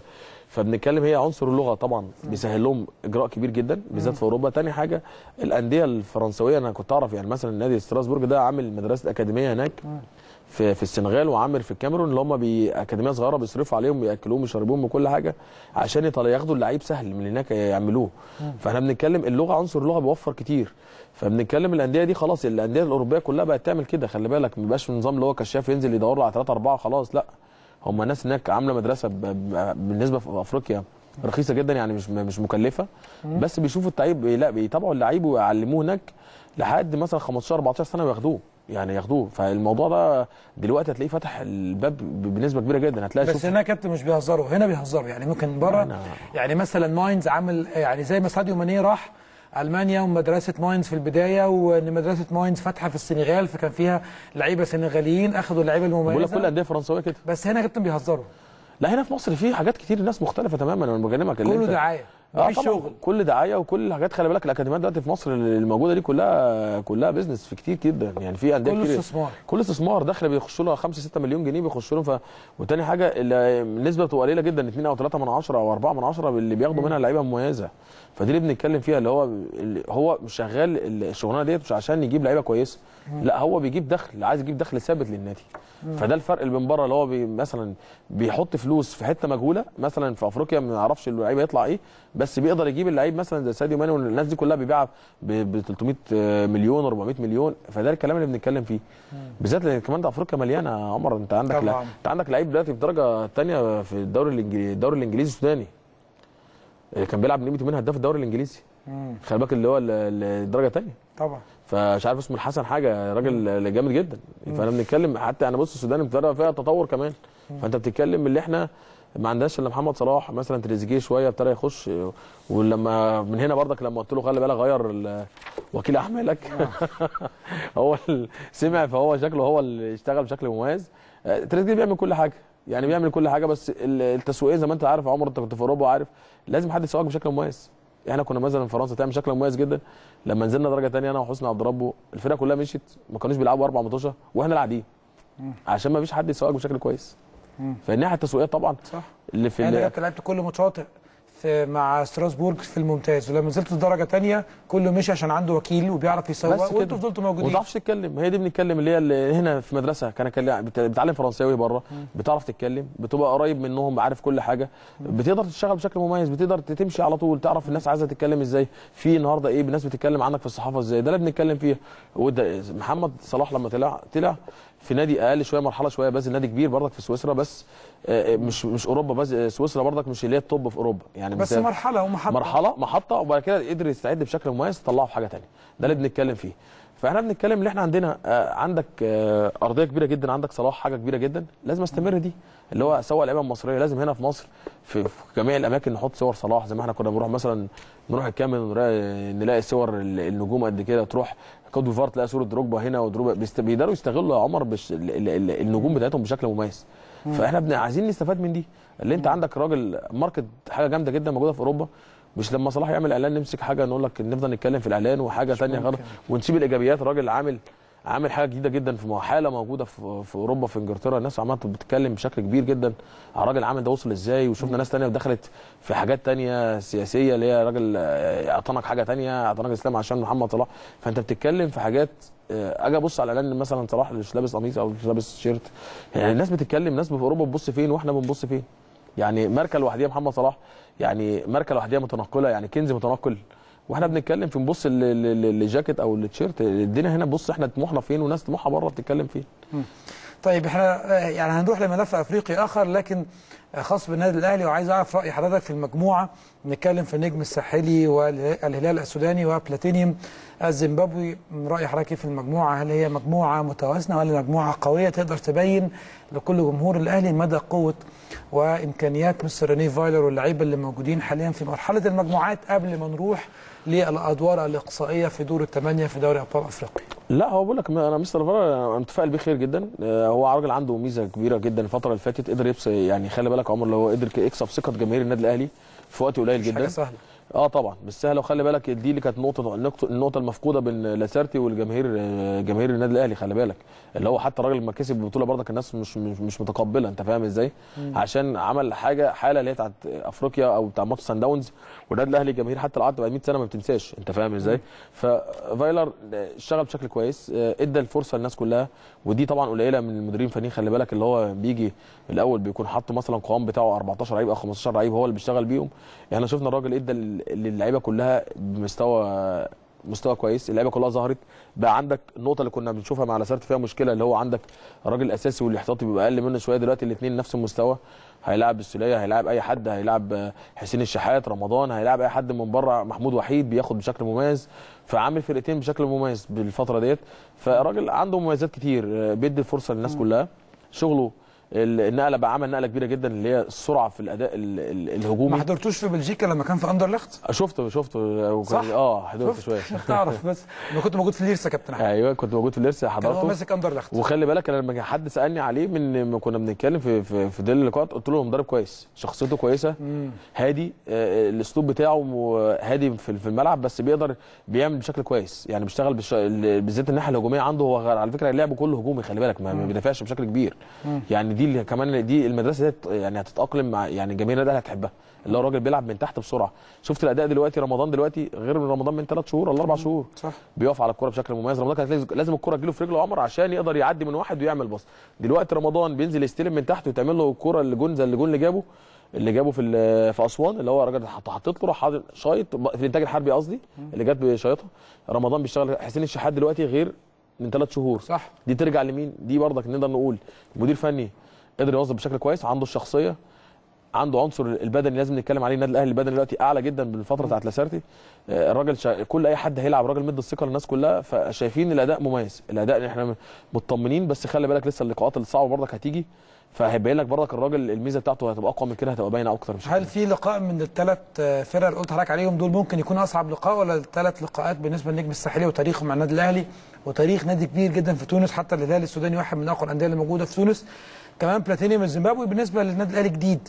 فهل شايف إن في فريق ممكن يكون أقوى من الثاني ولا الثلاث فرق بتاريخهم بالعنصر الجديد اللي موجود ممكن يكونوا كلهم صعبين على النادي الأهلي؟ لا هي الثلاث فرق م- مميزين بس إحنا بنتكلم على فرق اللي هي اصحاب يعني ال- الجولات اللي معانا الصعبة اللي تبقى موجودة النجم الساحلي لعبت هناك كتير النجم الساحلي فرقة قوية جدا و...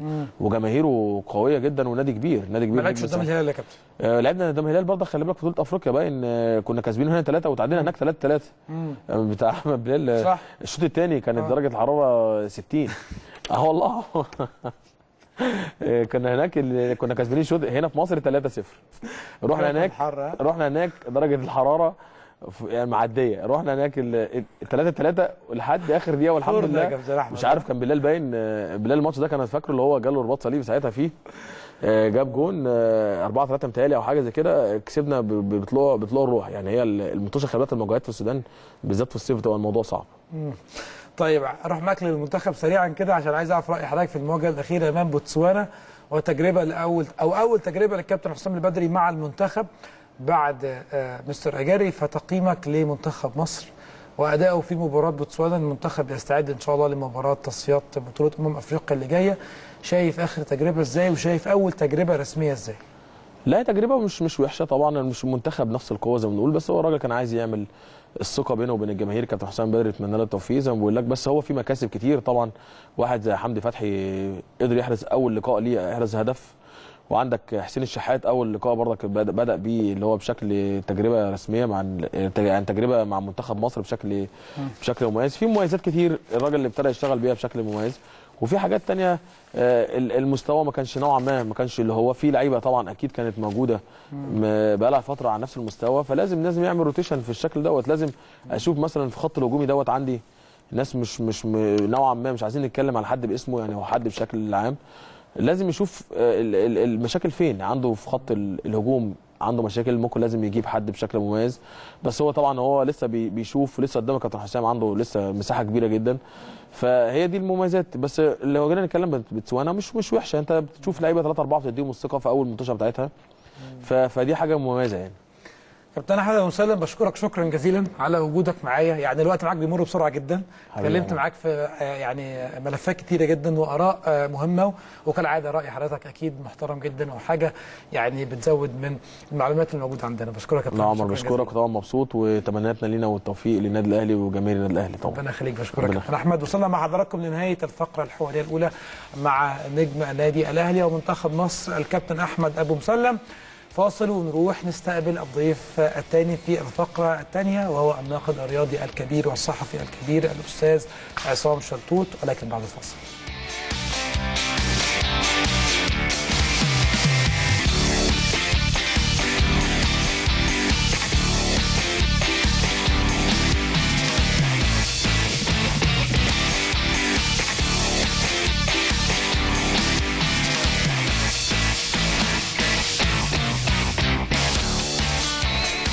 أهلا بحضراتكم من جديد ولسه مكملين معاكم في الأهلي الليلة والفقرة الحوارية الثانية مع الناقد الرياضي الكبير والصحفي الكبير الأستاذ عصام شطوط عشان نتكلم معاه من وجهة نظره الصحفية في الكلام أو ال- البيانات سواء من الاتحاد المصري لكرة القدم بتأجيل مباراة القمة وأيضا البيان اللي النادي الأهلي أصدره وقال إن لن نخوض أي مباريات قبل مباراة نادي الزمالك.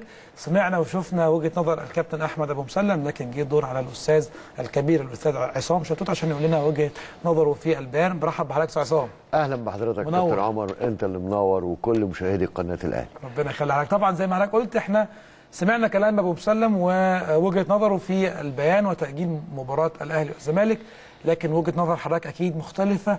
فعايز أعرف رأي حضرتك في اولا تأجيل مباراة الأهلي والزمالك ثانيا البيان اللي أصدره النادي الأهلي. شوف خلينا نبدأ من عند بيان النادي الأهلي وهو محق تماما في إصداره لبيان بيطالب فيه بمعايير واضحة جدا وطبيعية جدا اتفق الجميع عليها واستبشرنا خير إنه الأهلي والزمالك أو الزمالك والأهلي اتحطوا في البولة وأنت بتعمل جدول آه، المسابقة الأهم. ال Egyptian league آه، لابد ان هو يصل لمرحلة الارتقاء.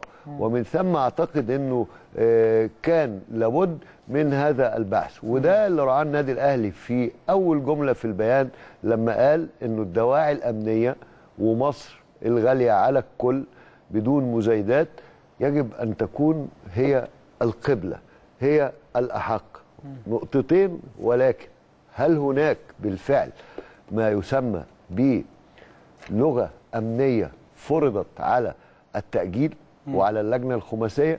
إذا كان هكذا موضوع يعني لماذا تم التأجيل بعد منتصف ليل الثلاثاء؟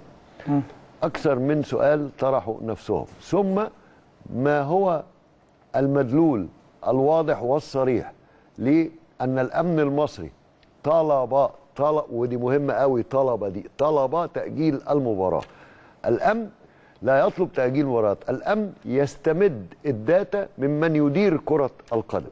بمعنى إنه قد يكون هناك من أكد للأمن أن ثمة احتقان أن هناك يعني ما يحدث بين بعض الجماهير هنا وهناك من مناوشات أن هناك كلام بيسخن الحكايات. لكن الأمن حين يسمع هذا ممن يدير كرة القدم ويعي ويعرف أن مطلبه هو التأجيل. مين بتاع كورة فينا؟ اتحاد الكورة اللجنة التي تدير وليس الأمن. الأمن المصري لا يمكن تحميله كل ما يمكن أن يكون من مسؤوليات.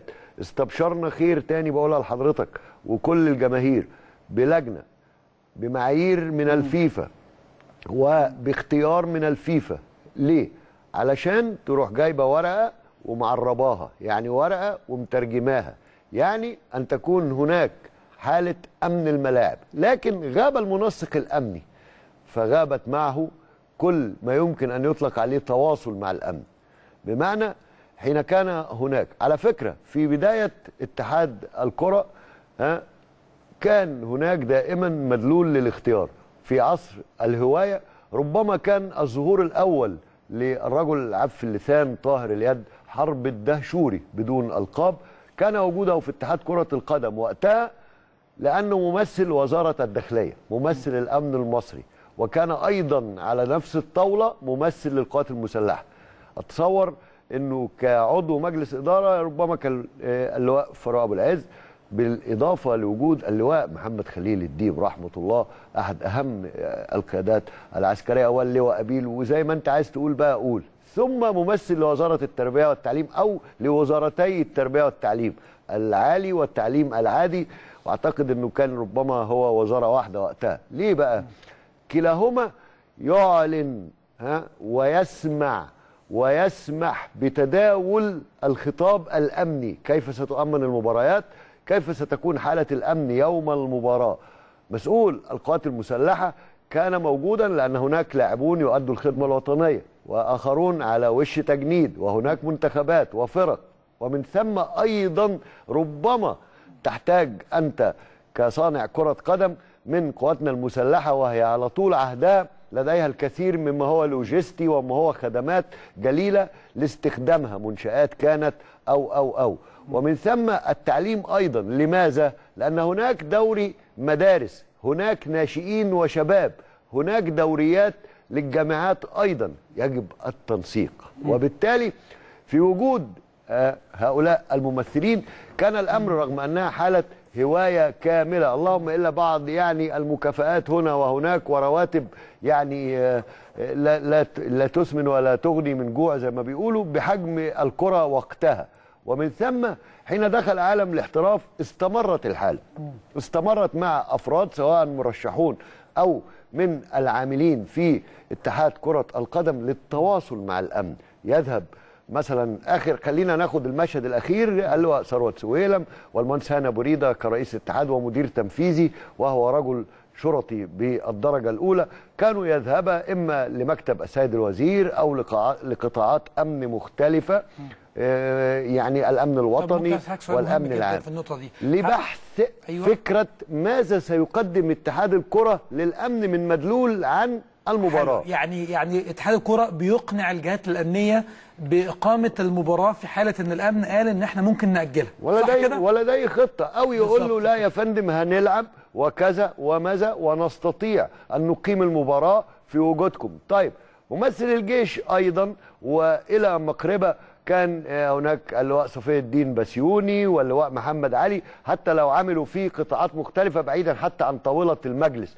برضو كانوا يذهبوا فورا لطلب من القوات المسلحة باستخدام أحد ملاعبها المؤمن جدا جدا برعاية جناحي الأمن للبلاد والعباد الشرطة والجيش. لما تفقد بقى الحوار ده أنا يعني ما هو ما ينفعش بقى كده تقول لي إنك قاعد جنب التليفون منتظر. الأمن المصري لديه مهمة هي الأهم. ثم ما هذا الخلط بين السياسة والرياضة؟ هو خلط مرفوض قاريا وعالميا. الدين السياسة العنصرية. ثلاث أشياء ما تدخلهمش في بعض. لا وجود أساسا لفكرة أن مصر ربما لديها بعض الأزمات الدولية فيدخل هذا في مشروع كرة القدم. لا لا لا خالص. دول آه، مش متلازمتين ابدا ابدا ابدا. وبالتالي انتظر طويلا الأمن أن يعلن له كيف ستكون الترتيبات لمباراة القمة. لكن لم يحدثه أحد. اللهم إلا إذا كان ما علمناه أن الحديث كان كالآتي. هناك شحن يا فندم وكذا وماذا وبالتالي عايز إيه يا عمر. مين اللي طلب يا فندم معلش يعني حضرتك الحتة دي مهمة جدا. مين اللي قال في شحن يا فندم وطلب؟ المؤكد المؤكد مسؤول كرة القدم. يعني مسؤول كرة القدم هو اللي حضرتك يعني إحنا بنتخيل مع بعضينا طبعا. إحنا مش بنجزم إن حاجة حصلت بالظبط لكن هي سيناريوهات آه بالظبط ليه كده؟ حضرتك. يعني هو قال إن يعني هم اتحاد مسؤول اتحاد الكورة قالوا إن الأمن إن في ليه, ليه بقى؟ ليه لأنه بقى؟ لأنه ما لا يمكن إعلانه هو أسرار أمننا. طبعا لكن طبعا. ما يجب إعلانه هو رأي الأمن. الأمن لو كانت هناك مخاطبة لظهرت. ما حدش بقى قال يقولوا لنا ليه بالظبط طب هل في حاجة ظهرت فعلا؟ لا لا ما هو حضرتك إعلامي بسأل- أنا بسأل حضرتك. ومحدثك إعلامي لا، حضرتك صحفي كبير وراجل ناقد، ممكن تكون عندك معلومات أيضا أكتر مني. مثقفة وكذا هذا ما لدينا من سيناريوهات وال- والأدلة على مش صحتها لكن على وجودها على الأقل هي فكرة التأجيل بعد منتصف الليل ما كتبه زملاء كبار في المهنة من نفس يعني أو كانوا على نفس التردد لو اعتبرنا إنه يعني التردد زي القنوات على نفس التردد بيقولوا يا جماعة من الذي قال أنه الأمن؟ الأمن يعني يستخدم ما هو رسمي لكن في نفس الوقت حتى حين تطلق صيحة يعني زي ما قالوا أن الأندية يا صديقي يا زميلي يا عزيزي يا نادي يا تبعي ها هو اللي بيجيب الموافقة. هو أنت جاي الساعة 12 ونص بالليل تأجل مباراة القمة الديربي العربي الأفريقي المصنف عالميا ولا تعي أن كل صحافة العالم ووكالات الأنباء ستنقل أنه أجل لدواعي أمنية. يا راجل إحنا ما بنصدق إن إحنا نصدر صورة مختلفة تماما من مهرجانات مهرجانات وإيفنتات في كل مناحي الحياة طب سؤال مهم نيجي إحنا عند دي ونحط العربية طب وبطولة أفريقيا اللي جاية وماتش الزمالك اللي جاي يعني لما إحنا حضرتك نقول إن الماتش هيتأجل لدواعي أمنية طب إحنا إزاي هننظم بطولة؟ بوضوح شديد لا آه. أحد يستخدم الأمن ما حدش آه. آه. هو الوصي على الأمن المصري آه. الأمن المصري وبأكدها تاني لحضرتك ولكل الجمهور اللي بيتابعنا الأمن المصري ذو بأس شديد. هو أمن احترافي. هي سلعة مصروف عليها مكلفة. المصريين طواعية يوافقوا عليها وكلنا شايفين حجم الأمن والأمان. أما فكرة أن تصدر للأمن أنت في تخصصك أنت إن أنت مذيع فبتقول له أنا مش هقدر أذيع النهاردة لأن شلتوت لو جه ممكن يقلب الطاولة ممكن يكسر المايك ممكن. طب عايز إيه يا عمر؟ تقول له طب بلاها بقى فقرة شلتوت يعني لو ينفع سيادتك. نأجلها كده نخليها الحلقة اللي جاية اللي بعديها لك ما لك بقى وعليك ما عليك. وبالتالي زي ما قلت لحضرتك ارجع تاني لكبار يعني كتابنا. وعشان كده ما قلتلكش نقادنا لأنه مش في فصيل واحد اللي كتبوا لا اللي الذين كتبوا مستائين من وضع جملة دواعي أمنية. هم كثر من أهل الرأي. وبالتالي لا علينا إن إحنا نسمع. أما يعني تخرج عليك أصوات الحقيقة يعني فيقول لك نحن بصدد توجيه بيان مقابل بيان النادي الأهلي أو كذا أو ننتظر عودة السيد عمرو الجنايني من رحلة عمل خاصة. فيعني للأمانة أعتقد إنه الحاجات العبقرية دي هي يعني الحل في إنك تليفونات. انت تستطيع إن أنت تجلب الرأي والرأي الآخر وتخرج بقرارات عبر ما يسمى call conference والبرامج في الأشياء دي كثيرة يعني. وبالتالي آه، لا أعرف يعني آه، السيناريو الأخير أو كلمة النهاية كيف ستكتب. الحقيقة نحن نحتاج مراجعة عاجلة جدا جدا جدا. صورة مصر لو حد بقى بيتكلم عن مصر صورة مصر. تستحق أن نحجز لها مساحات عريضة جدا بعناوين طيبة تستحقها المحروسة وموجودة على الأرض المصرية أن مصر في أمن وأمان. وما دون ذلك هو حق أصيل للأمن. بس في الحالة دي بيعمل إيه بقى؟ بيخرج للإعلان. محدش قال عايز منه تفاصيل لكن عايز منه دليل.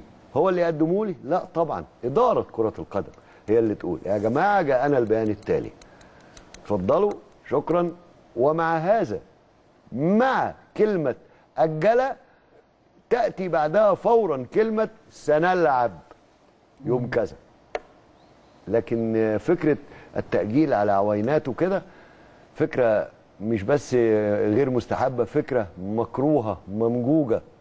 لا يمكن ابدا السماح بتداولها مرة أخرى. ليه؟ لأنه الدوري المصري كنا نأمل إنه مع هذا الموسم اللي أنا بقول ما هواش استثنائي بمعنى إنه يعني محتاجين فيه أشياء استثنائية لا هو بداية لأن سعر الدوري ده وأنا. قلتها لحضرتك ها؟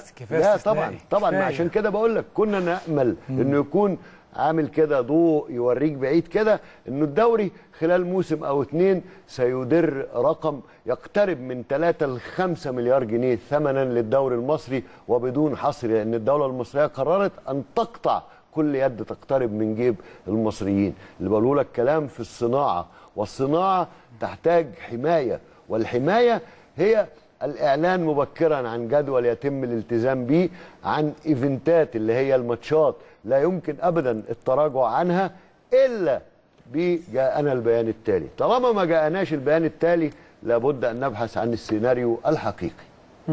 أستاذ عصام كلام بيتردد كتير في الفترة الأخيرة إن الاتحاد المصري لكرة القدم أو اللجنة الخماسية اللي بتدير الكرة المصرية أو المشرفة على الكرة المصرية هتم آه، دعوة الأندية في الفترة اللي جاية علشان يحلوا الأزمة اللي موجودة في الوقت الحالي، هل حضرتك شايف إن ده حل يعني دعوة علشان يعني يخرجوا يعني دعوة الدعوه ما دمت أنت اللي بتوجه لي دعوة المعلومة إن يعني. حضرتك تفضل عندي في البيت اللي هو الاتحاد المصري لكرة آه، القدم. عشان نقعد قعدة عرب ونتكلم ونشوف هنخرج إزاي من الأزمة الأخيرة دي. ما ينفعش حد يخرج منها على اتحاد الكرة أن يفرض ما هو رؤية تستحقها الكرة المصرية التي هي الآن موجودة قاريا وعالميا بشكل مكثف جدا. لاحظ أن لديك نجوم محترفين لاحظ أن لديك أهم كلاسيكو في المنطقة ومصنف عالميا واحد من أهم الدربيات. والدليل أنه حين أجلت المباراة خرجت كل صحافة العالم تقريبا حسب المساحات بقى عربيا شرق أوسطيا آه، قاريا في أفريقيا وآسيا ربما عالميا مساحات أقل. لكن الكل تحدث عن تغييب لقاء الديربي الأشهر في المنطقة لدواعي أمنية. إحنا بقى ممكن نحجز مساحات في صحافة وإعلام العالم علشان نوري مصر الآمنة المستقرة. هي حالة حقيقية؟ والله العظيم طبعاً. حالة حقيقية. طبعا. طبعا حالة حقيقية. وبالتالي يا أخي أنا عايز أقول لك حاجة. حتى لو كان حجم الشحن لابد أن تكون لديك رغبة في تنفيذ ما وصلنا إليه مما أطلق عليه ال- ال- ال- الطلبات النيابة العامة. التي هي طلبات الفيفا لكن شوف سابوا الكرة لما تبقى طلبات النيابة العامة لأنها محامي الشعب وبنشكرها. لما قالت على فكرة هم ترجموا العالم بيحصل فيه إيه؟ بيحصل فيه كاميرات بيحصل فيه قانون رياضة بيحصل فيه قانون شغب. يعني طبعاً. شفت الناس قد إيه دخلوا في الصناعة عشان يحموها لأن النيابة العامة هي محامي الشعب. والأمن المصري على عكس كل أمن في العالم. لا يمكن أن يكون موجود عند البوابات وعند التذاكر بالعكس هو بيكون في محيط الملاعب في المساحات حول الملاعب. بالمناسبة يعني ودي منظومة دولية على فكرة. ومن ثم يبقى في شركات أمن مدربة بتفوز بثقة صناع الكرة والمستثمرين فيها. وإحنا جايين بقى لفكرة الاستثمار. حين تكون يعني لديك رغبة في أن يأتي إليك مستثمرين ماذا ستتحدث معهم أو في ماذا ستتحدث معهم؟ وأنت تؤكد أن أهم شيء في الصناعة اللي عايزين يستثمروا فيها وهي كرة القدم أو الرياضة عموما بتلغى بدواعي أمنية. على الرغم من أن لا يوجد جاءنا البيان التالي وأن الأمن يرى أن هذا هو الأوجه للمصريين. تعليق حضرتك على إن الأهلي دايما آه، هو اللي بيعمل مشاكل وهو اللي بيفتعل أزمات وهو اللي بيضع العراقيل. رايح حضرتك إيه في الكلام اللي بيطار علشان الكلام ده يعني إيه؟ تيجي نروح مع معلش. تيجي نروح مع الكلام ده؟ تعال نروح ونثبت للناس بقى يعني مين اللي بيضع العراقيل ومين اللي بيصنع الأزمات. قبل ما نثبت لهم تعال ماشي. نروح ورا الكلام ده. إذا. كان الأهلي بيعمل كده عاقبوه بموجب قوانين ولوائح وكذا. بس قولوا لنا هو إيه الموضوع يا أولاد؟ يعني الست الطيبة في الشارع كده أو في المنطقة المصرية. زمان تقوم يا عيني تلاقي لوشة ودوشة فتقول لك إيه؟ هو إيه الموضوع يا أولاد؟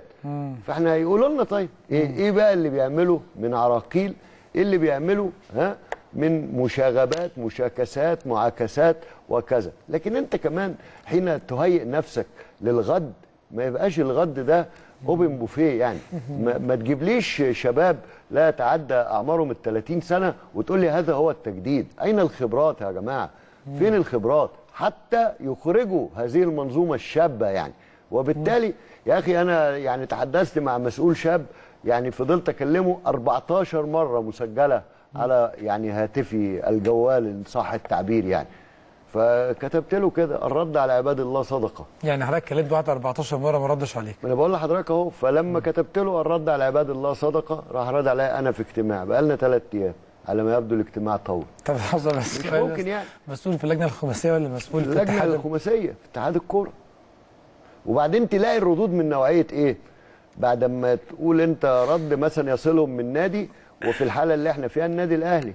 يقول لك ما هو الأمن ما قالش وما قال له إيه؟ ها هو أنت مش عارف إنه الأمن أنت اللي المفروض تجيب الموافقة؟ هو إحنا بنعمل لبعض يعني زجزاج ولا بنقول عن قواعد؟ لو هو اللي لازم يجيب الموافقة. ما قلتلوش ليه من أسبوع؟ حضرتك عندك موافقة ولا ما عندكش؟ لكن أنت بتفاجئني ثم حوار آخر. ماذا ستفعله مقابل بيان النادي الأهلي؟ يقول لك إحنا لما يصلنا شيء رسمي الحقيقة. لما يصلنا شيء رسمي هنبقى نرد. يا جماعة إحنا مش بلدين. إحنا بلد واحدة. ما تقوليش لما يصلني فلما يصلك فتبدأ تفكر. أنا أرد أقول إيه؟ لا الحكاية مش لعبة مصارعة الذراعين أو الريست بالمعنى الدارج يعني. الموضوع لازم يكون له أول من آخر. يعني كما تبدأ حروف الكلام بالألف لازم تنتهي ها نهايتها بالياء. وبالتالي المسألة محتاجة مراجعة لا تشكيك في أحد ولكن لازم الناس تقف على رجلها عمر. لازم الناس اللي بتدير كرة القدم تعرف أن هذه الصناعة يمكنها تحويل فعلا مسارات كثيرة جدا من سياحة رياض من خلق فرص عمل للشبان إداريين بس مش هقول لك بقى مؤهلين وكذا بمرتبات تقترب من الخمسة لسبعة 8000 جنيه. قرابة مليون فرصة عمل كل موسمين مثلا بمنسق كذا وماذا يعني لا لا لا الموضوع كبير قوي. الموضوع. يستحق العناية. ده هيخرج الموضوع يستحق صح؟ الموضوع يستحق المزيد من تدويل الحكاية. أن نصبح زي ما السيد الرئيس قال حين فزنا بتنظيم أو أنقذنا أمم أفريقيا بقى بدقة 2019 وعملنا مونديال كما قال كما قال رئيس الاتحاد الدولي. نظمناها وأعلن السيد الرئيس مش شبه العالم مصر زي العالم فأقيمت بطولة زي العالم. ثانية مرة لل fan ID بعد روسيا وهو مونديال يصعب تكراره كانت في مصر. آه، الحجز الأونلاين اللي كانوا بيخوفوا الشباب منه حدث بالفعل يا صديقي العزيز. أيضا حتى القناة الوطنية تايم سبورتس قطعت إيدين كل الحصري اللي بيترمى فيه مال أسود كثير والكل يعرف. ومن ثم بات لدينا فعلا ما يجب أن نحافظ عليه. صناعة اسمها كرة القدم أهم مصانعها هي الاستقرار وعدم تغيير قواعد لا اللعبة ولا مواعيد المنتج. ما هو مش ممكن أنت تكون شغال في الحليب والحليب معروف إنه صباحا ومساء لابد أن يتوالوا أفراد الأسرة فتيجي في يوم تقول قدامنا ثلاث أيام لما إزاي يعني؟ إزاي يعني؟ فلتغلق بقى مصانع الحليب وهكذا وهكذا وهكذا. وتصدير فكرة الأمن ده ده شيء لا يجوز. والأمن يصمت لأنه لا يريد زيادة مساحة العركه أنا بقولها لك أهو بالبلدي. طيب دلوقتي حضرتك عايزين نجاوب على السؤال الأهم. من يضع العراقيل في دوري النص الممتاز وفي كرة القدم؟ هل الأهلي هو من يضع العراقيل وبيحط العقده في المنشار زي ما الأغلب اللي بيطلع على الساحة الإعلامية اللي هو المفروض للأسف إن هو يكون يعني منبر إعلامي شريف ومنبر إعلامي يكون فيه مصداقية ومنبر إعلامي فيه توازن ما بين كل الكلام اللي بيقوله بيطلعوا يقولوا الأهلي دايما بيضع العراقيل وبيحط العقدة في المنشار والبلد والدعوه الأمنية وهربط لحضرتك الكلام ده للمقال اللي كتبه الأستاذ عبد الله. عبد الأستاذ عبد اللطيف. المناوي كتب النهارده في المصري اليوم العبقرية دي شيء من طبعا الخوف. طيب حضرتك النهارده كمان الأستاذ عبد اللطيف المناوي في. المصري اليوم كتب آه، آه، مقالة بعنوان لدواع أمنية فعايز أعرف حضرتك يعني هنتكلم عن مقالة لكن العراقيل مين اللي بيضعوا العراقيل فعلا علشان يفتعل ازمات هل الأهلي زي ما البعض بيقول زي ما إحنا قلنا عايزين نوضح أكتر ولا القائمين على الكرة هم اللي بيضعوا العراقيل؟ الوحيد اللي منوط به أن يقول شيء ويثبته هو من يدير كرة القدم، من يدير كرة القدم؟ هم مش- بسم الله هم مش بيردوا. الاتحاد أو اللي هم مش أو بيردوا. اللجنة الخماسية. وعشان كده يبقى في كلام كتير قوي لما يرجع السيد عمرو الجنايني. لأنه هتقول له يا أستاذ- يا أستاذ لا هقول له إن ما يفعله من تركتهم هنا يساوي zero. لا يمكن ابدا هذا الاختفاء الغير مبرر لا يمكن ابدا اعتماد وفقط على مخاطبات اللي هي ping pong ترد لي الكوره وخلاص. لا عايزين حد يكسب النقطة. عشان كده لما الاستاذ المناوي كتب أنا بقول لك إنه هذا الرجل يتحدث سياسيا صح ولا أنا فاهم غلط؟ آه يعني أنا ممكن أقرأ لحضرتك جزء اقرأ لنا جزء لأنه يعني نتحرك حتى بالالتباس آه. بتاع سد النهضة مال سد النهضة آه ما هو. بالظبط هو كاتب كده كاتب طبعا تتحرك الدولة لإجراء الإصلاحات الاقتصادية وتسعى لتحسين البيئة الاستثمارية بتعديل قوانين الاستثمار والدعوة لمؤتمرات لتشجيع المستثمرين وجلب المزيد من الاستثمارات خاصة في- مع الأرقام يعني هو بيتكلم على الاس- حجم الاستثمارات البلد شغالة فيها وبتسعى فيها العمل اللي شغال تضخ. في كل حتة ده؟ وفي كل محافظة بيقول حضرتك إيه بقى ولكن تفاجأنا جهات مفترض إنها جزء من جسد الدولة المفترض أيضا إنه جسد واحد تخرج علينا بإجراءات لن تجد من يقدرها ويشكرها عليها من غير المتربصين للدولة واستقرارها. أكثر الحجج التي تساق لتبرير هذه المواقف هي الدواعي الأمنية. الأمنية. وطبعا يعني بعد كده كتب طبعا كلام كتير جدا لكن حضرتك فهمت ال- ال- ال- المقصود من من المقالة. هو إن هي بيحدد الحجة هو بيحدد الغير مبررة. قلت لك. انت أنت لا تريد أن تأخذ قرار فالأسهل دائما ان دواعي أمنية. أن تمرر الكره بلغتكم يعني يا أهل الكره أن تمررها لإيه؟ للأمن.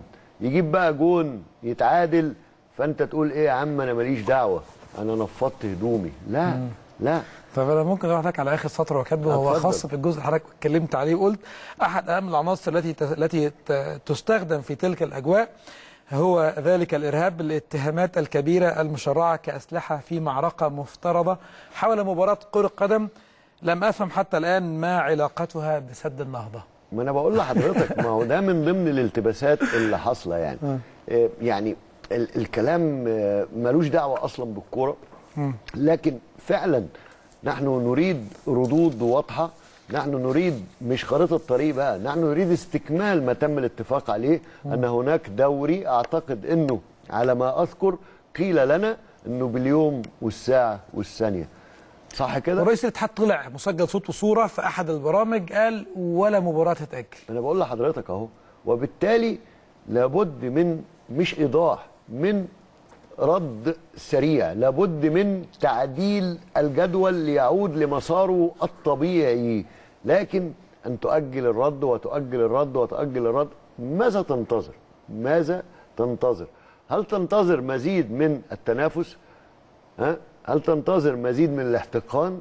اللي انت أشرت إن في احتقان طب انت بتقلله كده ولا بتزوده؟ بزوده. على فكرة إذا دخلت الجماهير وخلينا نقول بوضوح شديد الزمالك والأهلي أو الأهلي والزمالك مهما كان من احتقان هو ماتش والتاني بس طبق القواعد طبق قانون الشغب المركون جانبا ركن في بارك والبارك قفل والأمن بتاع البارك لسه ما رجعش لغاية دلوقتي.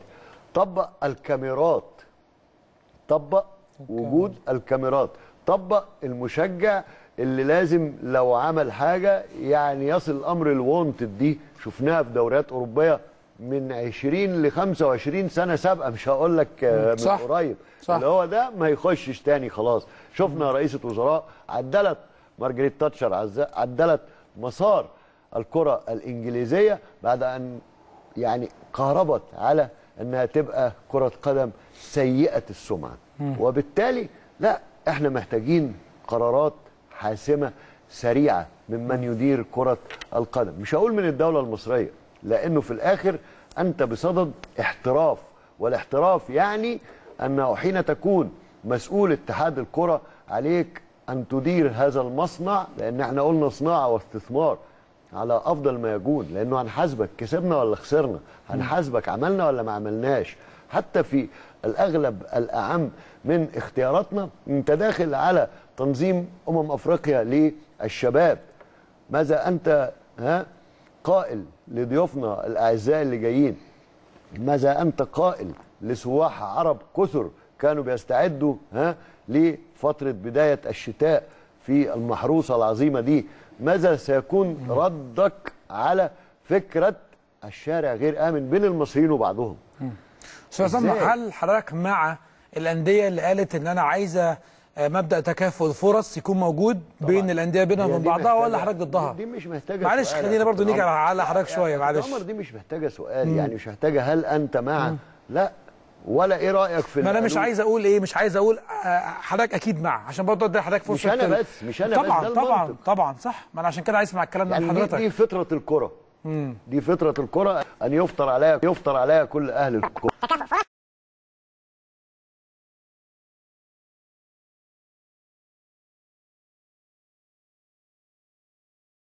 حكم.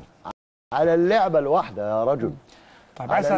اسالك سؤال عشان كتير بيسأل هو إحنا ليه بنتكلم ونقول ال- ال- الماتش اتأجل والأهلي مش هيلعب قبل قبل قبل ماتش الزمالك وإن الجونة ما ينفعش نلعب الخامس قبل الرابع؟ المشجع يقول لك طب آه، هو هو استقرار البطولة وإنها تكون بطولة منتظمة ده هيرجع علينا ويفيدنا بإيه؟ مين بقى اللي قال المشجع, المصري اللي بيتكلم وبيتفرج وبيشوف. المشجع فاهم قوي. المشجع معلش، عارف ما إحنا عايزين- دي سخونة آه. الأحداث تمام. اللي هي التشويق اللي بيدفع فيه ثمن التذكرة. أيوة. لكن لأن ما حدش بيحاسب حد وما حدش بيسأل أنتوا بتلموا تذاكر ولا لأ؟ وتدخلوا الناس ببلاش ولا لأ؟ والبوابات بتشتغل ولا لأ؟ آه. وفي شركات أمن بجد ولا لأ؟ وشركات الأمن دي بتسافر تروح تشوف ماتشات أوروبا ولا لأ عشان تعمل زيها؟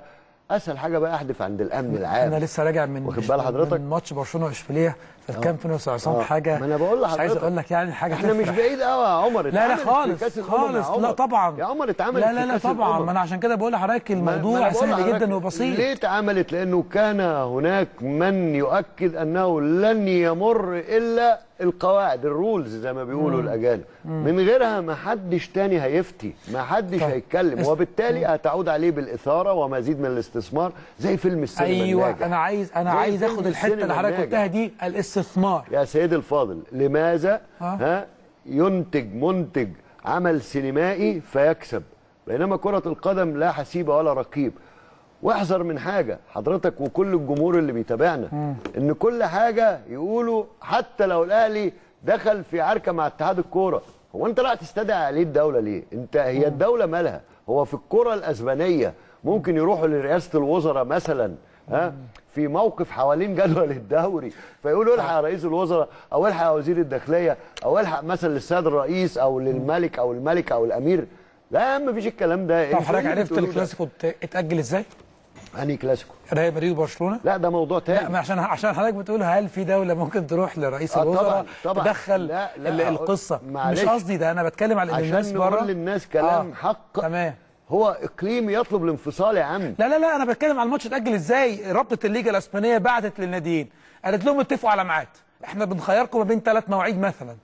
فلو ما اتفقتوش على ميعاد لحد تاريخ محدد ومعين إحنا. هنحط لكم ما هو التاريخ. ده الطبيعي ما هو صعب الشغل. ده الرد ما رجعوش. ما مثلا قالوا إيه.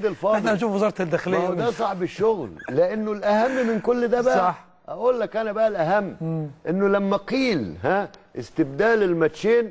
الكامب نو يروح البرنابيو وبعدين نبقى نرجع. لا يا حبيبي لا لا. هكذا المسابقة. الدور الأول في الكامب نو. يبقى في الكامب نو سيادتك حضرتك يا فندم.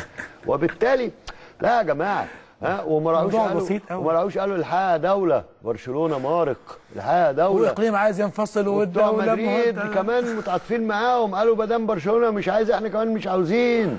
إيه يا عم في إيه؟ الموضوع مش كده خالص. لكن الدولة تدخلت متى؟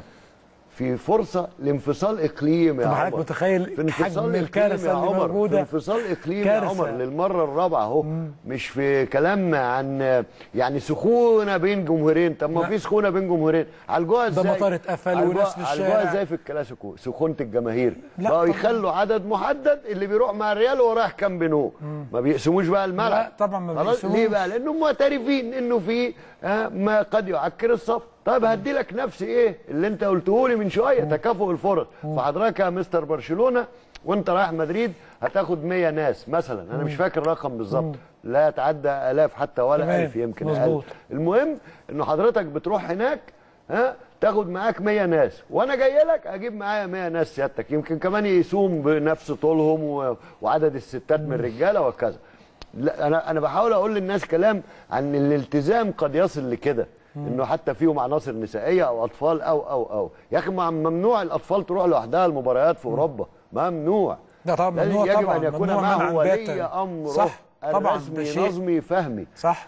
إحنا مش أقل من الناس دي ومش بعاد عن الناس دي. والدولة المصرية يا كابتن عمر وكل جماهيرك مهيئة الساحه لده إشمعنى إحنا بناخد كل حاجة كل في طبقته على أحدث حاجة؟ نيجي لغاية الكورة لا حسيب ولا رقيب. على فكرة اللي بيستعدوا الدولة على نادي أو أندية أو مسؤولين ده الدولة هي اللي لازم تحاسبهم حضراتكم بقى انت لنا إيه إن شاء الله؟ هي صحيح لا تستطيع التدخل لكنها يمكنها كما حدث المرة اللي فاتت.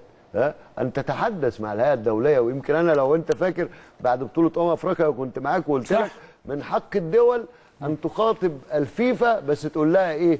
أنا عاوز نموذج دولي واللي عندي ما بيعملوش فيجوا الفيفا يشوفوا بنفسهم. لكن ما فيش حاجة اسمها حل واربط والكلام ده. ليه؟ علشان ما يبقاش ضمن العمل الروتيني مش عشان الدولة مش من حقها تتدخل. لأن هناك صناع كرة قدم هناك رابطة كل واحد فيها بياخد 30000 جنيه عشان يدير الدوري ده فيعمل مكاسب متعاظمة. إحنا مش هنهزر. والسادة الموجودين الآن على فكرة هم محترفين. عارف كده ولا لا؟ طبعا. برواتب. طبعا وهذا برواتب لا ليس عمل. تطوعي. وهذا لا لا بالعكس. ده إحنا ده إحنا بنطالب وحضرتك بتطالب في كل حتة حضرتك بتكون موجود فيها يبقى الموضوع تطوعي طبعا تطوعي دي بتأثر على حاجات. كتير جدا. ممنوع التطوعي بتتطوع ليه يا عم؟ التطوع هو للوطن وفقط. صح. ما دون وللوطن فين؟ في حاجة واحدة بس. آه، حتى مش في بناء مصنع صح. ولا غيره لا. في الدفاع عن الوطن. في الدفاع يعني تلعب قلب دفاع وليبرو ودفندر في الجيش. خلص. عصام إيه اللي هيحصل؟ عشان برضه حضرتك طبعا حضرتك قريب من الأحداث وحضرتك آه، بحكم عمل حضرتك حضرتك قريب لكل الأطراف. إيه اللي هيحصل الفترة اللي جاية من خلال خطاب النادي الأهلي وتأجيل مباراة أهلي وزمالك؟ هل آه، في قرار هنسمعه قريب؟ أخشى ما اخشاه ما هو؟ الحكاية تقلب قعدة عرب. طيب ولو قعد لا اتصور إن النادي الأهلي هيوافق هيوافق انه يقعد قعدة العرب. وليس من حق النادي الأهلي أن يوافق. أنا طبعا بقول مش هيوافق لكن ما اراه إن الحل الأهلي هيحصل. مصر على آه. تنفيذ ما تم الاتفاق عليه ما تم الاتفاق عليه أو حد يقول له ها كلام تاني اللي إحنا طب بدأنا إيه هو. الكلام التاني اللي ممكن الكلام ممكن التاني ده إنه بصراحة شديدة أيوه. يخرج بيان أن الأهلي كان محق ها أيوه. وأن هناك ثمة شيء خاطئ إذا كنا عايزين نبرد القضية وأن هناك ثمة شيء خاطئ وأن الخطأ عند الإدارة الفلانية والعلانية داخل المنظومة بتاعت اتحاد الكرة مش حكاية بقى عشان يجلدوا حد أو يعاقبوا حد. وبالتالي الحل هو أن يلعب الأسبوع كذا يوم كذا زي ما حضرتك قلت على الكلاسيكو برشلونة والريال أو ريال وبرشلونة. هذا هو السيناريو. مش آخر الدور الأول؟ مش ممكن يقول لك أحطه آخر ماتش في الدور الأول؟ إزاي يعني؟ إزاي؟ إذا كان ما حصلت الموسم الماضي. إحنا ملأتنا السعادة. ما إن إحنا ال- قلنا بقى إن الموسم الماضي إحنا بقى ما أنا عايز أقول لحضرتك رغم عشان إن لو إحنا حصل. الحقيقة فقدنا ناس يعني كانوا هم اللي بيحلوا في الأوقات دي. لكن يعني حالة عصام. والفككان هي. اللي هي اللي وقعتهم. يعني إحنا لما نشوف الحاج عامر الحقيقة يبقى لازم نقول له إحنا آسفين يا حاج عامر. طب أستاذ عصام يعني- معلش هل حضرتك شايف ان يعني حضرتك يعني أنا شايف إن حضرتك زعلان جدا من اللجنة الخماسية؟ هل حضرتك زعلان من إدارتهم للكرة المصرية ولا زعلان من عدم تعاملهم باحترافية مع وسائل الإعلام والصحفيين اللي. هم أصلا شغلهم؟ ما هي شغلهم. هي ما هي هي. أنا زعلان لأن طموحي معاهم كان كبير قوي طموحي معاهم كان النقلة. طموحي معاهم كان تثبيت ها صناعة كرة القدم بكل معانيها مش بالأعراف لا بأنه في منسق امني في منسق امني في يا راجل ده بيجيبوا ناس مراقبين في المباريات يخش يعمل مؤتمر صحفي يقول لك قوم أنت. آه، إيه يا عم في إيه؟ وواحد يجي وواحد ما يجيش. حتى الآن لم نلحظ ثم التعديل والحكاية مش حكاية إن أنت تيجي المؤتمر ولا لأ مثلا يعني ولا يبقى عليك 10 جنيه. ولا حتى 10 مليون. لا لا لا لا. كل واحد لازم عنده شغل يا عمر. كل واحد لازم شغله يؤدى للآخر يا عمر. ها؟ الدخول المتاح لأي حد في أي حتة في أي حاجة وكذا وكذا وكذا. نحن لا نعرف حتى ها؟ هل اتحاد الكورة بس؟ الراجل يعني أنا بريدة هو اللي كان أس يعني كل ما يحدث ها؟ إزاي يمشوا اللي كانوا قاعدين على الطاولة؟ وبقية الإدارات موجودة يعني ما يفهمونا يعني. إزاي يعني؟ ما هو برضه إحنا محتاجين تطوير. أنا مش بقول على البشر لأنه أنا برضه في كل حتة الواحد بيقول من العيب إن حد يتكلم في الذمم يعني بنتكلم على الإدارة. وبالتالي لابد من تحديث الإدارة دي. أول حاجة في علم تحديث إدارة كرة القدم أن تجلب نص تنفذه. من بلدان كثيرة أقل منا جمالا في كرة القدم. مش هقول بقى أوروبا وبس. وبالتالي لا. طب معلش رأي حضرتك. في آه، لقاء السعودية وفلسطين في تصفيات آه، آه، آسيا الأخيرة وتصفيات كأس العالم الأخيرة مش متذكر كأس عالم ولا تصفيات آسيا أمم يعني. هي رأي حضرتك في وجود الجمهور في فلسطين في الملعب مليان عن أخوه. فلسطين بس وفي العراق. إحنا بس نتكلم على الماتش اللي إحنا شفناه كلنا بعينينا من خلال التصفيات الأخيرة. ما هو ده الأمر الطبيعي لأنه أنت مش هتغلط لأنه لو غلطت هتتعاقب. هم مش عارفين إن كل حاجة بقت متشافة وكل حاجة بقت هزار. دلوقتي خلاص كل حاجة تتعرف ومفيش حاجة تقدر تستخبى على حد. مفيش هزار مفيش هزار. هتغلط هتتعاقب. ما هو فكرة انه من من يتحمل الغلط؟ قبل ما تقول لي من يتحمل إذا عمود النور وقع على واحد فكان قرارك انك تبطل عمدان النور عشان ما تعورش حد تاني ومش عايزين وجع دماغ تبقى دي مصيبة. لا، لا، صح. لكن يجب أن توضع أعمدة النور على أحدث ما يكون من تثبيت. صح. يجب أن نعاقب الذي ترك عمود النور يقع على البني صح، أدمين. أتفق معاك تماما. وكذا 100%. مواضيع. وبالتالي الأسئلة ما هي ح- ما هياش حرجة ولا بعيدة ولا صعبة خالص. ممكن. إنما ابعدوا بقى عن فكرة شكل الدولة المصرية. مش كل شوية كل حد عطلان أو العربية اللي هي العمل يعني غرز يقول لك إن الدولة هي اللي قالت لي اجري أو دواعي أمنية. ما هي دي الدولة المصرية. مفيش حاجة اسمها كده مفيش حاجة اسمها كده.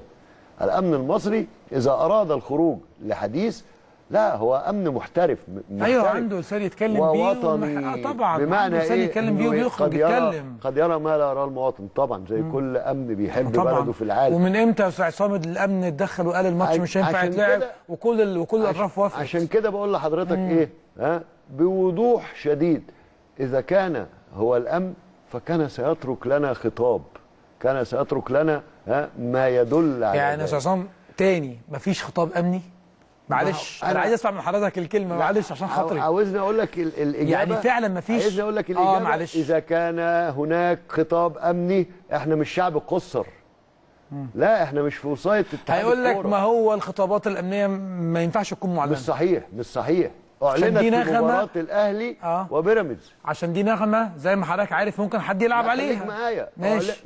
هو ده اللي يتلعب عليه إنه الأمن يقول رسمي وإنه بعدها يقول لهم طب وعلى فكرة أنا قدامي أسبوع ويلعبوا بعده.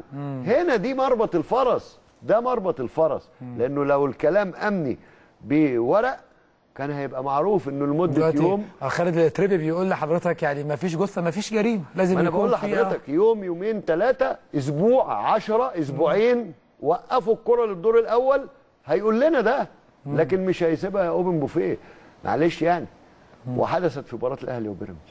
ده صح؟ حقيقي. صح. مش كان في جواب؟ صح. إيه بقى؟ مفيش ورق؟ لا صح. مفيش فاكسات؟ مفيش لا، لا، كليكسات؟ في- في. بلاش بقى نقول إيميلات والكلام الكبير ده. لا لا المسألة مش كده. فعلا لا أحد يمكنه ابدا ها دحرجه كرة من اللهب في اتجاه الأمن والجيش المصري. لا لا لا لا الموضوع مش كده خالص. الكوره تحتاج من يستطيع إدارتها احترافيا.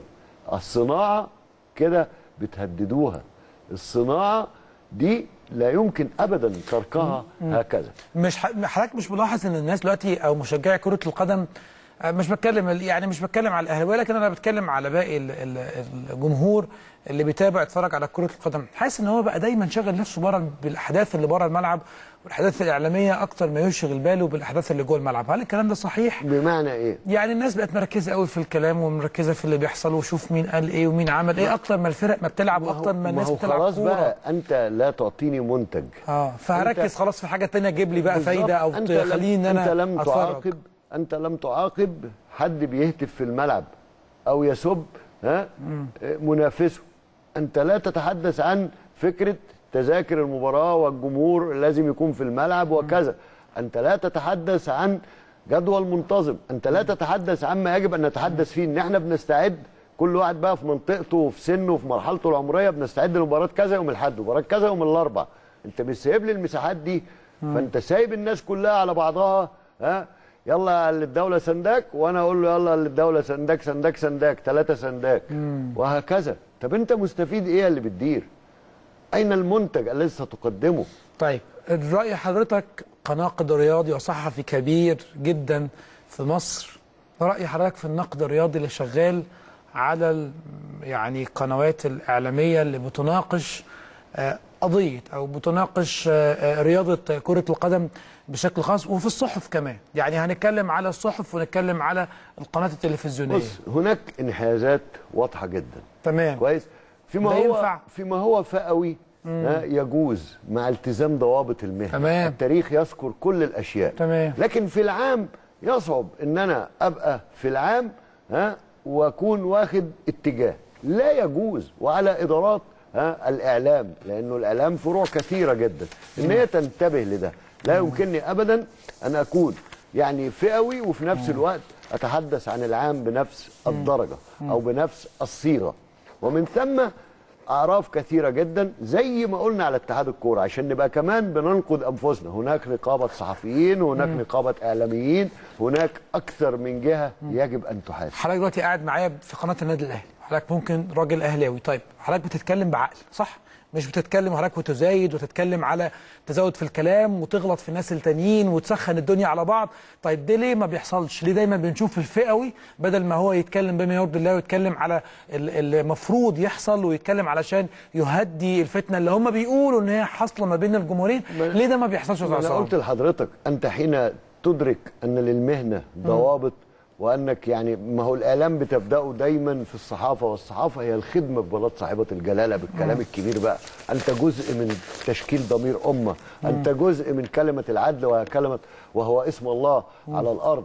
إذا لم تراعي هذه الضوابط فللتاريخ صفحات يا عمر ما بتسيبش حد. صح. وبالتالي أنا مش هقول دروس لحد ولا حد يديني دروس كمان.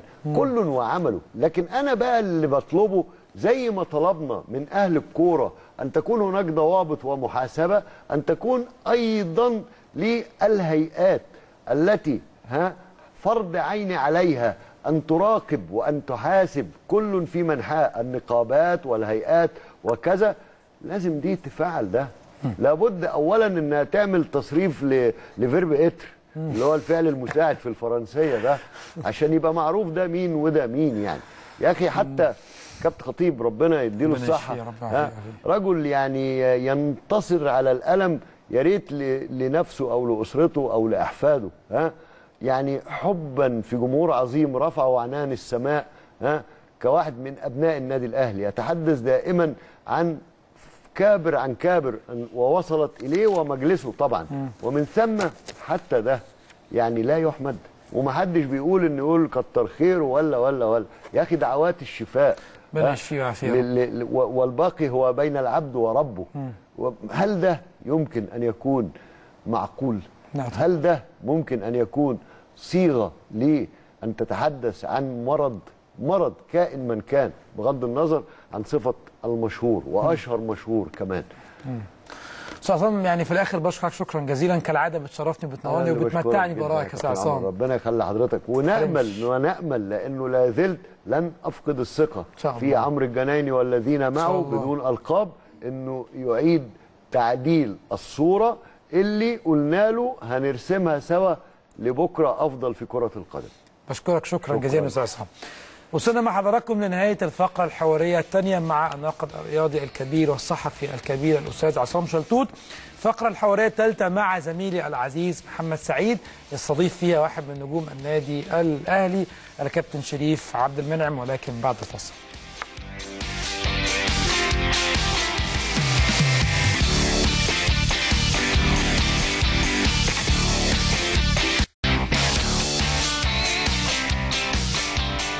بسم الله الرحمن الرحيم. أهلا بكل مشاهدي قناة الأهلي في كل مكان في مصر والوطن العربي الكبير والفقرة الأخيرة من برنامج الأهلي الليلة.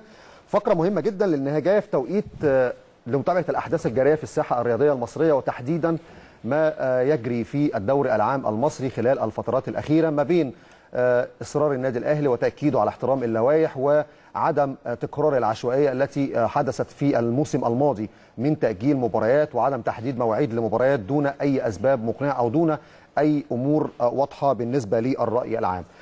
حلقة النهارده أو الفقرة النهارده في ختام هذه الحلقة بالتأكيد ده بيشرفني فيها نجم كبير ضيف كبير بتشرف إن أنا موجود معاه لأن أنا من أشد المعجبين بيه من أيام ما كان بيلعب في فريق النادي الأهلي ومنتخب مصر كابتن شريف عبد المنعم. كابتن شريف منور الدنيا. الله يخليك. ميرسي يا محمد ربنا. أنا كمان من المعجبين بك جدا يعني. الله يخليك كابتن شريف. تسلم. ده من ذوقك. وشرف ليا بالتأكيد. حاجة حاجة شرف والله وشكل وأداء وكل حاجة الحقيقة.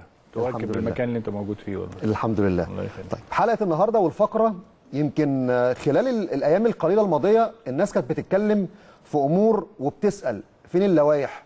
طب مين اللي ليه الحق طب لو الأمن أجل أو الأمن رفض استضافة مباراة الاتحاد موقفه إيه؟ طب النادي مسؤوليته إيه؟ كل هذه الأمور هنناقشها مع الكابتن شريف عبد المنعم وهنعرض جزء من بنود لائحة المسابقات لأول مرة منذ أن انطلقت المسابقة. حتى هذه اللحظة الكل بيسأل عن اللوائح ومحدش عارف اللائحة بتقول إيه والوضع إيه. لكن هنعرض اللوائح وهنشوف بالظبط الوضع القانوني في الملف اللي إحنا بنتكلم فيه دلوقتي شكله إزاي. كابتن شريف اولا بيان النادي الأهلي كان واضح جدا وكان عايز يحط إطار عام من البداية ومش عايز يكرر اللي حصل الموسم الماضي. وإحنا هنعرض دلوقتي اللوائح وهنتكلم في اللي حصل بالظبط في لائحة المسابقات الجديدة بالنسبة لموسم 2019 2020 بداية تعليقك على الأحداث والمواقف اللي اتخذت خلال الساعات القليلة الماضية. هو بسم الله الرحمن الرحيم. هو ما فيش في بيان النادي الأهلي أكثر من مبدأ تكافؤ الفرص. تكافؤ الفرص للجميع يعني. لا الأهلي طرف ولا الزمالك طرف ولا أي حد. إنما لما بيحصل حاجة على الساحة الرياضية ب... هتضر بالمسابقة كلها وهتضر بالأندية كلها. مش آه، مصلحة نادي أو اثنين أو ثلاثة لأ. وعلى وضع معين يعني. أنا بعتقد إن بيبقى في قلة خبرة قلة تفكير آه، في أحداث معينة بت... بتحصل على الساحة. يعني مباراة نادي الزمالك مع هي الغاني ال- السنغالي. السنغالي. آه، حصل إن هي خلاص حددت يوم 24 طب خلاص ما فيش ماتش يوم 19 بين الأهلي والزمالك ده من بدري. الأسبوع ده مش موجود أصلا. آه، في تأجيل لأن عندنا ظروف طرأت على الساحة خدت بالك؟ ال- شكل ال- المنتخب وشكل الأجندات الدولية والكلام تسمح حتى للمديرين الفنيين إن هم في احتياج جامد جدا. يعني شوقي وحسام بدري في احتياج لكل خمس دقائق يعني إن حقيقي. هم يعدوا العدة للشكل اللي جاي بعد كده. واحد هيلعب على أولمبياد و... وعلى ارضه البطولة ومحتاج آه، يشوف رؤية أكتر محتاج لعيبة عنده ت... يعني ما تبقاش مصابة لعيبة مهمة جدا وده طبيعي في كل العالم يعني بيحصل يعني. وحسام البدري نفس الموضوع يقدر ياخد تجربة تانية غير سيرا- آه، سيراليون اللي هو لعبهم يقدر ياخدوا آه، غير بتسوانا سوري. أي حد آه، يقدر يتمتع في كل القرارات ال- الحكيمة إن هم يستغلوا صالح البلد. لو بيتكلموا على البلد بقى يعني فالكلام عن البلد إن أنت تدي كل الفرص وتعد ليك إنك تأجل أسبوع كامل شامل في الدوري العام يعني مش هيجرى حاجة. إنما هي أنت تروح ناقل الموضوع كله ومدخل آه، الأندية في بعض ومدخل آه، كل واحد برأيه كل واحد يقول النهارده لا أنا مش هلعب بكرة يحصل توجيهات ولا لازم نلعب ولازم وانت تاخدها عن طريق البلد ومش البلد. بعدين تقول دخل الأمن في الحكاية. وبعدين دلوقتي ترجع تقول أصل الأمن اللي عايز قاعد كده يتكلم ما أعرفش يتكلم مع الأمن. لا طب والأب الشرعي في بتاعي اللي بيتكلم عني أنا يعني أو المسؤول عني اللي هو في فترة معينة مع سنة على ما أعتقد هو اللي هيبقى مسؤول عنها. كل حاجة الوعود اللي هم أول ما جت ال- اللجنة اللي هي موجودة. يعني شيء مش عارف هو من الخبرة ولا هم اتزنقوا ولا هو في حاجة مش واضحة. مش واضحة. آه ودتنا لكل اللي إحنا فيه ده دلوقتي. ودتنا لحكايه إن كل واحد بيمسك في تكافؤ الفرص بتاعته. وانت كمان قدامك جماهير وقدامك ناس آه، عايز تعرف آه، أنا أنا واحد من الناس أنا وانت وجميع الزملكاوية مش هقول لك كنا عايزين نتفرج على ماتش الاهلي والزمالك طبعا. يعني ده حدث بي بيلم الدنيا كلها بيلم الوطن العربي بيلم افريقيا بيلم كل الناس يعني يهمهم يتفرجوا على القمة. آه لما يحصل تأجيل في برشلونة وريال مدريد ده تأجيل قهري. ساعتها مش هنتكلم يعني. وبيفكروا في حلول قبل ما يعلنوا قرار التأجيل كمان. وبيقعدوا مع بعض ما يناسب بقية ال- التكافؤ الفرص اللي بنتكلم عنه بقيه الفرق كلها وبقية الدنيا كلها والمكان اللي هتلاقي فيه المباريات إيه يعني في حاجات سهولة كانت ممكن تحصل غير إن أنا آه الحكاية تجيلي إيه هو كده. يعني كنا بس هو نبعد نبعد عن كل كده إحنا نقدر نبعد عن كل ده. يعني خالص.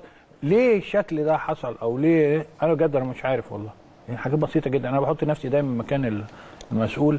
طب انت لو أنا المسؤول هتصرف إزاي؟ هتصرف كده. هقول آه أنا بدل ما يحصل مشاكل في المنطقة دي آه أنا هأجل الأسبوع ده كله. هو كان عنده طريق من اتنين. يا ياجل الأسبوع كله زي حضرتك ذكرت إن الأسبوع كله عشان تكافؤ الفرص لأن كمان في أندية نادي زي نادي الجونة مش متضامن مع الأهلي. هو نادي الجونة فكرته إن لما الأهلي لاعب الزمالك ويروح يلاعب الجونة في الجونة هو الجونة شايف إن الأهلي لما يجي له بعد ما يواجه الزمالك أكيد هيكون في أمور حصلت في المباراة مكسب ليه هو لما الأهلي يجي له. سواء في انذارات لا قدر الله حد اصيب أو ايا كانت الطريقة أو الظروف مساحة الوقت الراحة اللي ممكن ياخدها ال- الأهلي لو ما لعبش الزمالك لما كده لما يروح يلعب الجونة. فالجونة وجهة نظره في تكافؤ الفرص كانت من الناحية ديت.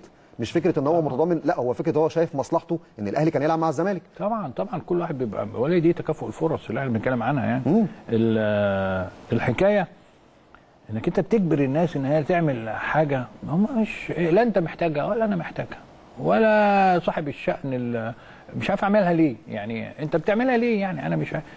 يعني ناهينا عن الموضوع ده هم هم اللي هيحضروا العفريت وهم اللي هيحلوا ال- القصة نفسها وهي لازم ي- حاجة ترضي جميع ال- الأندية وترضي جميع الأمور اللي هي طبقا للائحة. طبقا للوائح وطبقا لل... للشرعية. يعني أنا مش عارف. يعني النهارده أنت بتكلمني بتكلمني في ثلاث أربع أساليب يعني. ولازم يبقى في متحدث رسمي يكلم ال... يعني أنا النهارده نادي الزمالك هو اللي هي... هينظم مباراة. النادي الأهلي هو اللي هينظم مباراة. لازم تروح تكلم النادي الأهلي تقول له آه المباراة يمكن تتأجل. فاصبر كده شوية عشان إيه هيحصل في الأفق في شيء يعني. قريت اللائحة يا كابتن شريف؟ آه، ما بتاعه ال- المسابقات السنة الجديدة؟ لا. كل اللي ما قلته؟ عنديش ثقة في. كل اللي حضرتك قلته على فكرة موجود في اللائحة. آه. سواء أنا المسؤول announce يعني ولا. الاتحاد مسؤول آه. ولا مين اللي مسؤول طب أنا هفاجئك بحاجة مهمة جدا أول حاجة عشان نبدأ ندخل في الموضوع قبل كمان ما نتطرق لفكرة مسألة الريال وبرشلونة لأن هناك في أمور مشابهة كتير جدا للي حصل في الدوري المصري وفي مباراة الأهلي والزمالك الفترة الأخيرة يوم 15 سبتمبر الاتحاد المصري لكرة القدم عبر صفحته الرسمية أعلن في بيان رسمي إن إعلان جدول الدوري للدوري للدور الأول للدوري الممتاز هيكون بعد 48 ساعة من إجراء القرعة وكان في تصريح مهم جدا قدامنا هو على الشاشة كابتن شريف ولكل المشاهدين. تصريح للأستاذ حسام الزناتي مدير المسابقات بالاتحاد أعلن فيه خلال حفل القرعة إن الجدول متضمنا مواعيد المباريات وأماكن إقامتها سوف يعلن في غضون 48 ساعة وهو الوقت الذي قدره. ركزوا في المعاني يا جماعة. الوقت الذي قدره الاتحاد المصري لكرة القدم لورود الموافقات الأمنية للملاعب المختارة. ونقف هنا. يعني لورود الموافقات الأمنية لمين؟ للاتحاد والاتحاد اللي قدر إن 48 ساعة هيجي له الموافقات الأمنية. يبقى مين اللي بيخاطب الأمن؟ اتحاد. طيب حيث تم إرسال الجدول إلى الجهات المعنية لوضع آلية أو ملاحظات في الاعتبار قبل إعلانه تجنبا لأي تعديلات مستقبلا. يعني الاتحاد هو اللي قال إن أنا أرسلت الجداول للجهات مين؟ الجهات المعنية. عشان لو في أي ملاحظات تضعها في الاعتبار قبل إعلانه تجنبا لأي تعديلات مستقبلا. يبقى بالتالي اللي بيخاطب واللي بيتعامل مع الأمن مين؟ الاتحاد يبقى ما يجيش بعد كده يقول لي إيه؟ روح انت خاطب طيب دي أول في حاجة. ثانية عايز أسألك. آه. إيه هو ال- الخطاب اللي راح لل للأمن؟ على أساسه الأمن ألغى المباراة. لم إيه. المعطيات اللي كانت موجودة جوه الجولة؟ لو بنقارن باللي حصل السنة اللي فاتت في الكاس جواب ال- النقل أو تأجيل مباريات الكاس الأسباب 12 يعني. 12 المرة دي ما فيش حاجة اتنشرت وخلاص إحنا خلينا نبعد عن الأمن يعني الأمن ما- لا مش بتكلم على أنا بتكلم على لا مش الاتحاد. قصدي يعني خلينا نبعد عن الأمن خلينا نبعد عن آه، الأهلي خلينا نبعد عن بقية الأندية. تمام.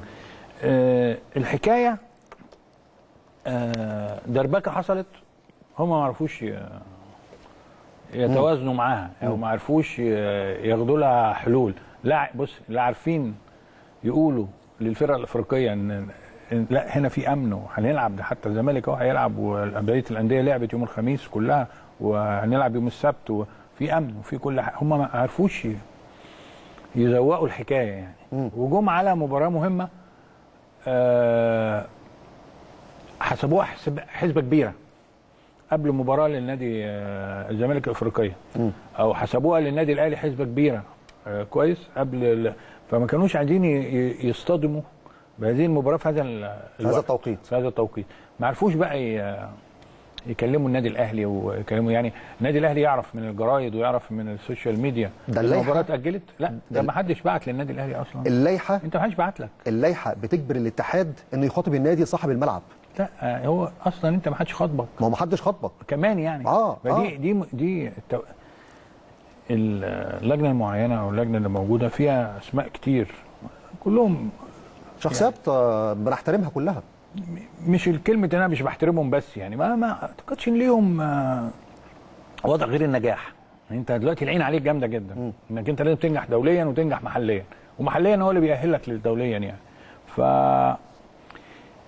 كان الله في عونهم يعني. التصرف اللي هم تصرفوه ده كان لازم يتصرفوه في وقت قصير أو ما فكروش فيه قبل كده أو ما بيستعينوش بلجان ذو خبرة. أو في ناس بقى يعني موديهم في سكة إن هم ينجحوا أو ما ينجحوش أو ما تفهمش أو بياخدوا القرار من غير ما يقروا اللائحة اللي هم عاملينها. ما في حاجات كتير قوي في عدم توازن في, في كل القرارات اللي طلعت أو في كل حاجة الأحداث اللي حصلت دي. خلونا في اللي إحنا فيه دلوقتي ده. أحرجوا الدنيا كلها. طب نعرض لائحة المسابقات؟ يا اتفضل. إحنا طبعا من أول الدوري يا جماعة في لائحة المسابقات في لائحة الانضباط وكل الزملاء في النقد الرياضي لدرجة حتى الكل دلوقتي بقى بيعرض مكافآت مالية. حتى الزميل طارق رمضان كان عرض مكافأة الماليه اللي يقدر يجيب لائحة المسابقات أو حتى الانضباط. لائحة المسابقات أهي ده بتاريخ 19 9 2019 أرسلت للأندية من خلال المدير التنفيذي آه، الكابتن وليد العطار. شروط ونظام بطولة الدوري العام لموسم الرياضي 2019 2020 اولا البند رقم أربعة. الاتحاد المصري بيقول هنا إيه في شروط المسابقة؟ سنوافيكم للأندية بالمسموح لهم بالدخول من الجماهير وأعضاء مجلس الإدارة والإدارات التنفيذية والمنظمين فور وصول التعليمات من الجهات الأمنية. اذا الاتحاد اللي هيقول للأندية بالنسبة للدخول أو بالنسبة للتأمين الخاص من المباراة أنا هقول لك اللي هيجي لي من الجهات الأمنية عشان أقول لك الوضع بالنسبة للمباراة إيه. على سبيل المثال 25 من هنا و25 من هنا. يبقى اذا اللي بيتخاطب مع ال- الجهة الأمنية أو الجهات الأمنية في الأمور دي الأب الشرعي. الأب الشرعي اللي هو مين؟ اتحاد الكرة. الاتحاد. ده واحد. طيب في نفس اللائحة برضو البند رقم 8 في الصفحة الثانية في فقرة بتقول في حالة تعذر إقامة مباراة على الملعب الخاص بالنادي لأي سبب من الأسباب يجب على النادي تحديد الملعب البديل. على وجه السرعة وأخذ موافقة صاحب الملعب وجهات الأمن المختصة وموافاة الاتحاد بذلك خلال المدة التي تحددها لجنة المسابقات. طيب أنا كنادي أهلي حصل تعذر في إقامة المباراة على استاد القاهرة طبقا للجدول المعلن. هل الاتحاد خاطبني وقال لي حدد ملعب بديل على وجه السرعة وحدد لي فارق زمني عشان أقدر أحدد الملعب البديل؟ ما حصلش. هل اتحاد الكرة بعت للأهلي قال له حدد لي ملعب بديل مكان استاد القاهرة عشان تستضيف مباراة القمة؟ ما حصلش. أنا ما يعني هقول لك على حاجة أنا بيبقى عندي تمرين في النادي الأهلي وهفتح له الجمهور لازم أبلغ ال- الأمن كويس تمام. فإحنا ما إحنا ما بن إحنا فاهمين دورنا كويس قوي وف- وكل الأندية فاهمة دورها كويس قوي ما الأهلي معاه اللائحة وعارف وعلاقة آه. الأمن بالأندية كلها ممتازة. هي- ده تليفون يعني بيبقى علاقة مش خطابات حتى. دي بتبقى علاقات بالتليفونات والدنيا يا فندم هنعمل كذا كذا كذا اتفضلوا. وبالأجل يروح يقول له ابعت لي بس حاجة عشان أنا أبلغ بيها الدنيا. والدنيا بتمشي في حاليا حتى في, ال- في الوقت اللي إحنا فيه ده بكل ال- السهولة وكل يعني كل حاجة من غير ما حد بيحس. ده مسؤولية أمن ومسؤولية نادي ومسؤولية كل واحد بيعمل دوره. وطبعا النادي الأهلي مش هقول لك يعني. قاري اللائحة وعارف هو الأهلي مطلع ما, ما ينفعش ما يعملش دوره على اجمل وجه يعني. ده بالعكس ده اللائحة يا كابتن شريف كمان تحس إن الأدوار فيها متلخبطة. كل ورقة أو كل بند في اللائحة بتقول عكس البند اللي بعديه. أنا- أنا قلت لك على حاجة واحدة. فين الخطاب اللي راح للاتحاد للأمن من الاتحاد المفروض يبلغوا إن المباراه هتقام مثلا في برج العرب؟ وهل في 5000 مشجع و5000 مشجع؟ هل في 25 و25 بدون جماهير؟ وهل وهل فين المعطيات دي اللي هي كانت موجودة؟ دي هتخلي الناس. كلها آه، تمتثل. ما ما حصلش بدليل حتى إن هو ما خاطبش الأهلي وقال له صعب إقامة المباراة على استاد القاهرة. شوف ملعب بديل. طبقا للائحة اللي بتقول كده. ده ما خاطبش الأهلي أصلا وقال له الكلام ده. طب بالعكس يا كابتن شريف. آخر ورقة في متعلقة بموضوع اللائحة وهم بيعرضوا جدول المباريات وبيبعتوا لي الأندية كابتن شريف.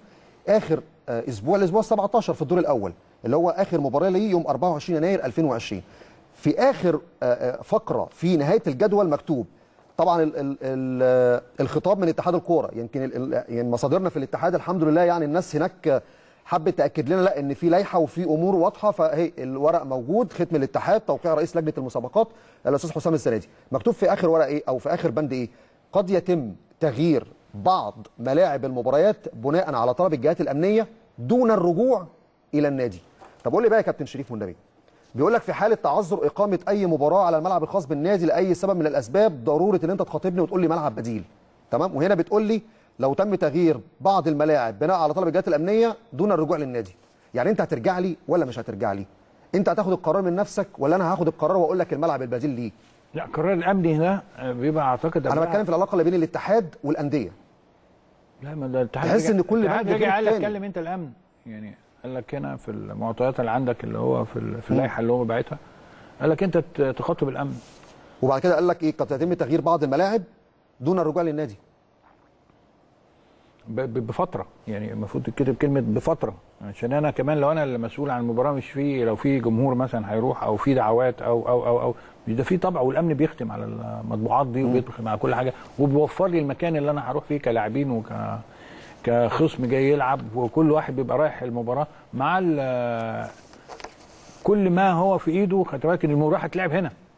مش هنرجع لمشكلة المباراة بتاعت آه، آه، الفريق السنغالي اللي هو راح الملعب آه، قال لك لا ده أنا هنا ده أنا هتمرن هنا. قال له أنت مش هتتمرن هنا أنت ما فيش أي ما يفيد عندي. مش عايزين نوصل لدي. هي ده الكلام اللي حضرتك بتقوله ده. اللائحة بتقول آه، نفس المشاكل دي. آه، تحس. إن ال- اللوائح مش منظمة. لا بالعكس اللوائح ملخبطة. كل بند عكس التاني وما تقدرش تمسك اللائحة بقى تعرف دلوقتي المسؤولية على مين. هل المسؤولية على النادي عشان ما حددش ملعب بديل زي ما اتقال في البند رقم 8 ولا هل المسؤولية على الاتحاد انه ما اختارش النادي ان يوجد ملعب بديل؟ ولا هل المفروض النادي ملوش علاقة؟ لأن في بند في الخطاب بيقول إن أنا لو اتغير الملعب ما ارجعش للنادي. أأجل دون الرجوع لحق النادي. بص خلينا أتفق معاك أنا إن هم غلطوا من الأول خالص. من أول ما حصلت آه، جواب الاتحاد الافريقي لنادي الزمالك كان لازم الأسبوع ده يحصل فيه بت من بدري بدري ولا تدخل الأمن طرف فيه ولا تدخل أي حد طرف فيه. ده قرارك أنت الأب الشرعي فيه بتأجل الأسبوع ده. يعني هو بس بتأجل أسبوع واحد. لما أنت برضو عايز تخش في جميع ال- الأركان آم، لازم تبقى في احترافية جامدة قوي. إنك أنت تخلي النادي الأهلي ما ياخدش آه، يقول تكافؤ الفرص أو موقفه أو ياخد آه، حقوقه أو أو أو هتلاقي كل الدنيا ممتثلة. آه، النادي الأهلي الحمد لله توب. وماشي كويس جدا ومش من مصلحته إنه يقعد ما يلعبش. خالص، لازم يقعد. يلعب. ده طبعا. لازم يلعب واللعيبة بتاعته كلها الحمد لله يعني على مستوى عالي جدا. فهل من مزيد يعني؟ أنا يعني محتاج في الفترة اللي أنا فيها نجمي عالي وعلى طول بإذن الله. إنما آه بيدخلك في حاجات بيحرجك فيها. بيحرجك قدام جماهيرك بيحرجك قدام نفسك بيحرجك قدام آه لا أنا مش فاهم حاجة حتى. طب أنت ما بعتليش حتى أنا أقعد أتناقش حاجة أتناقش فيها. يعني انت ما بعتليش حاجة محمد. تقول لي حتى على الأقل أنا. وأنت نقعد نتناقش فيها دلوقتي؟ آه. نقول لأ ده النادي الأهلي ده قراره ده هو شايف ليه نظر ده أنت ما فيش أي حاجة أنا عندي ولا عندي أسباب مبعوثة ولا عندي أي حاجة. ولا بعتنا للناس كلها حاجة تثبت غير تعسف. حقيقي. أنا ما يعني أنا مش من النادي الأهلي مثلا أو من أي حتة هتفرج على الموضوع كده من بره؟ هو في إيه؟ أنت ليه بتزنق ال... ليه بتصنع مشكلة؟ ليه, بت... ليه اللغة دي؟ آه. ليه بتعمل اللغة دي؟ يعني أنا مش فاهم ليه بتصنع أنت بعيد مشكلة؟ عن أنا بعيد عن اللغة دي ومش هشاركك في اللغة دي عمري وهطلع وأقول لك أنا عايز تكافؤ فور عايز حقي يعني ليه ليه بتعملوا الشكل ده؟ وأنتوا مش في بالعكس إحنا المفروض البلد كلها دلوقتي دي في إيدين بعض ومش مباراة هي اللي هت ما إحنا عايزين نقوم بالمنظومة ونتغاضى عن الأخطاء اللي كانت موجودة السنة اللي فاتت يا كابتن يعني شريف أنا مش عايز أقول لك لسه لو الماتش ده في أفريقيا كان حد فتح بقه ولا اتلعب ولا ما اتلعبش كان هيمشي ويتلعب خالص عادي جدا طبعا. ماتش اتلعب قبل كده اللي هو ديسايد يعني لازم فرقة تكسب. أهلي وزمالك بجماهير. والدنيا مشيت زي الفل. ده مفيش ظروف أسهل من دلوقتي. ده ما فيش أجمل من ده كده أنت لسه في بداية ده أنت المسابقة. كنت يعني آه، الدنيا مش آه، أمال عملت والجماهير قعدت مع بعض وخرجوا مع بعض على إذا كان على القهوة ولا في الكافيتيريا ولا الدنيا ضحكت. والزمالك عمل كامباك مشرف في المباراة وربنا خلى الحكاية تعدي. شكلها حلو. شكلها حلو قوي. وكان الزمالك ممكن يتعادل وكانت الدنيا تروح بقى لضربات جزاء وما نعرفش برضو الدنيا فيها إيه.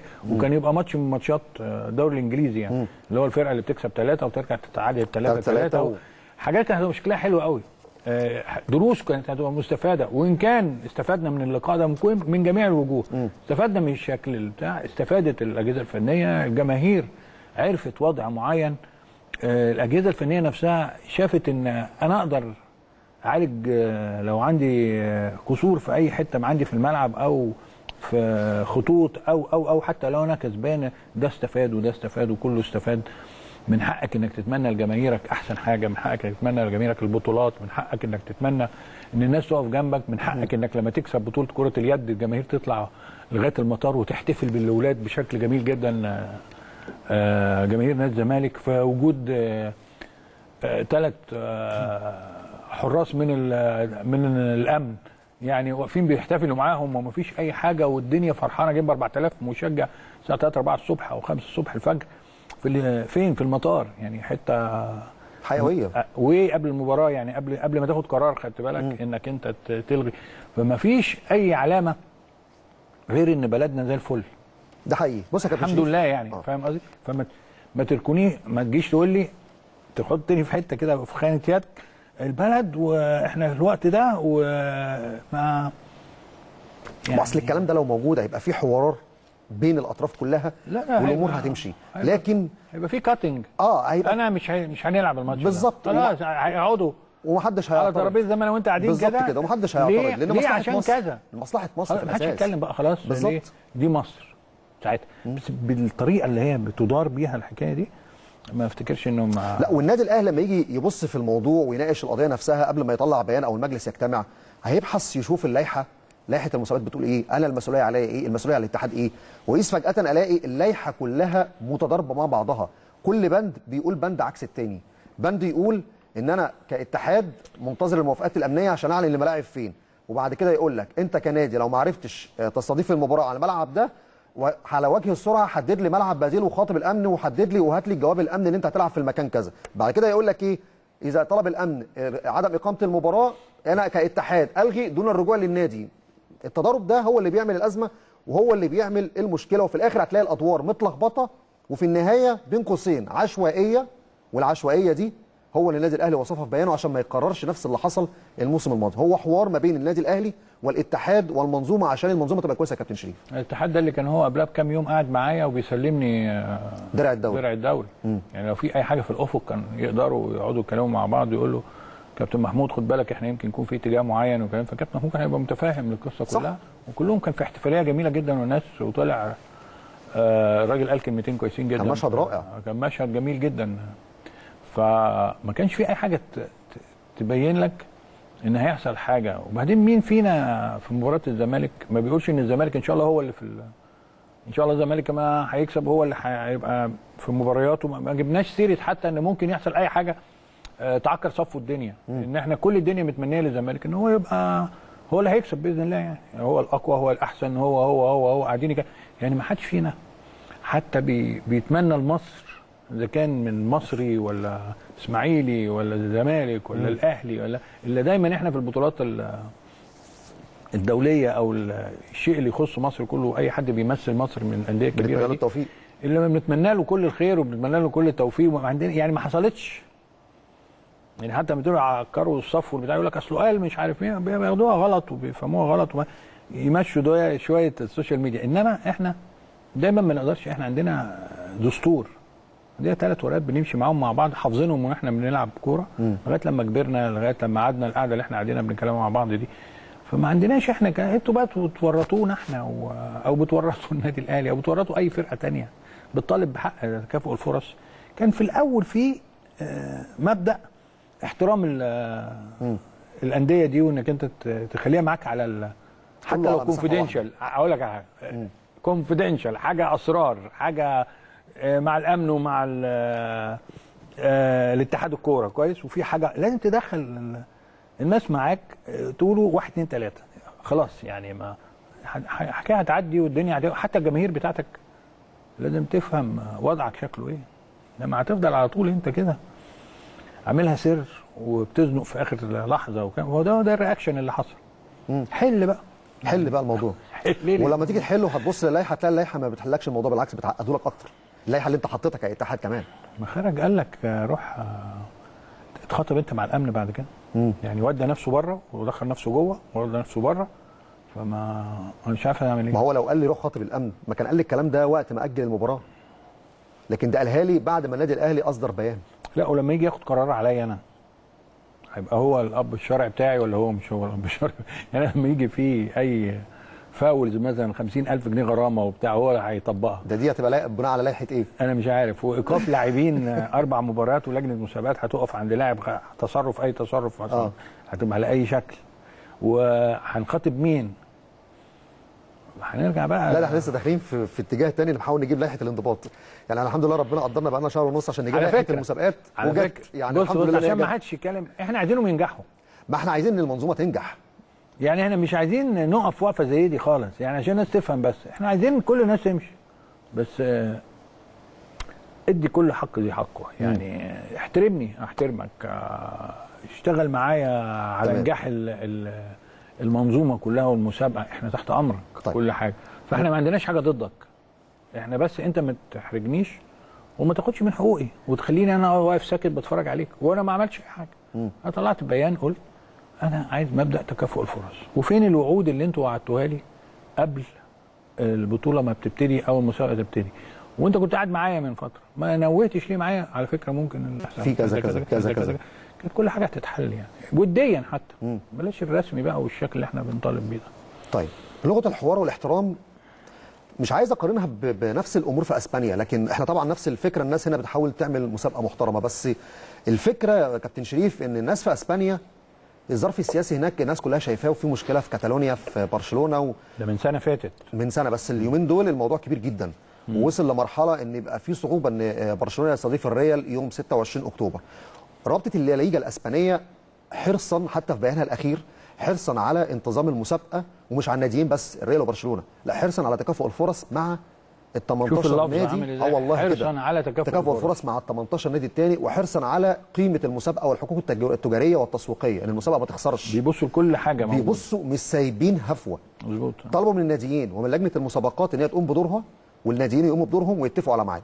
برشلونة أصدر بيان الكلام ده كان بالأمس والريال حتى رد عليه بيان تاني إن في اتفاق أو شبه اتفاق على ميعاد يوم 18 ديسمبر. مفيش خلاف بين ريال و خالص رغم ال- حالة الصراع الرياضي اللي بينهم. آه، مفيش الكلام ده. بص ده دي مهمة قوي اللي أنت قلتها دي. يعني ده ناس بتخاطب بعض وبيتكلموا مع بعض وكل حاجة. لانجاح المنظومة وإنجاح الدنيا إن في زي ما أنت قلت تسويق ورياضة ودولة وكل حاجة محطوطة قدام ال احترام المسابقة ده هيجيب فلوس. هتجيب كل حاجة. احترام المسابقة العالم كله. بيتفرج عليهم كمان. طبعا مباراة وإحنا زي العالم أهلي وزمالك كله بيتفرج كل مستني. المباراة ديت. فعشان يحددوا ميعاد الناديين اقترحوا ميعاد. البارسا صاحب المباراة رفض المباراة تروح آه، لمدريد. والريال رفض المباراة تكون عنده. يعملوا switch بس الميعاد.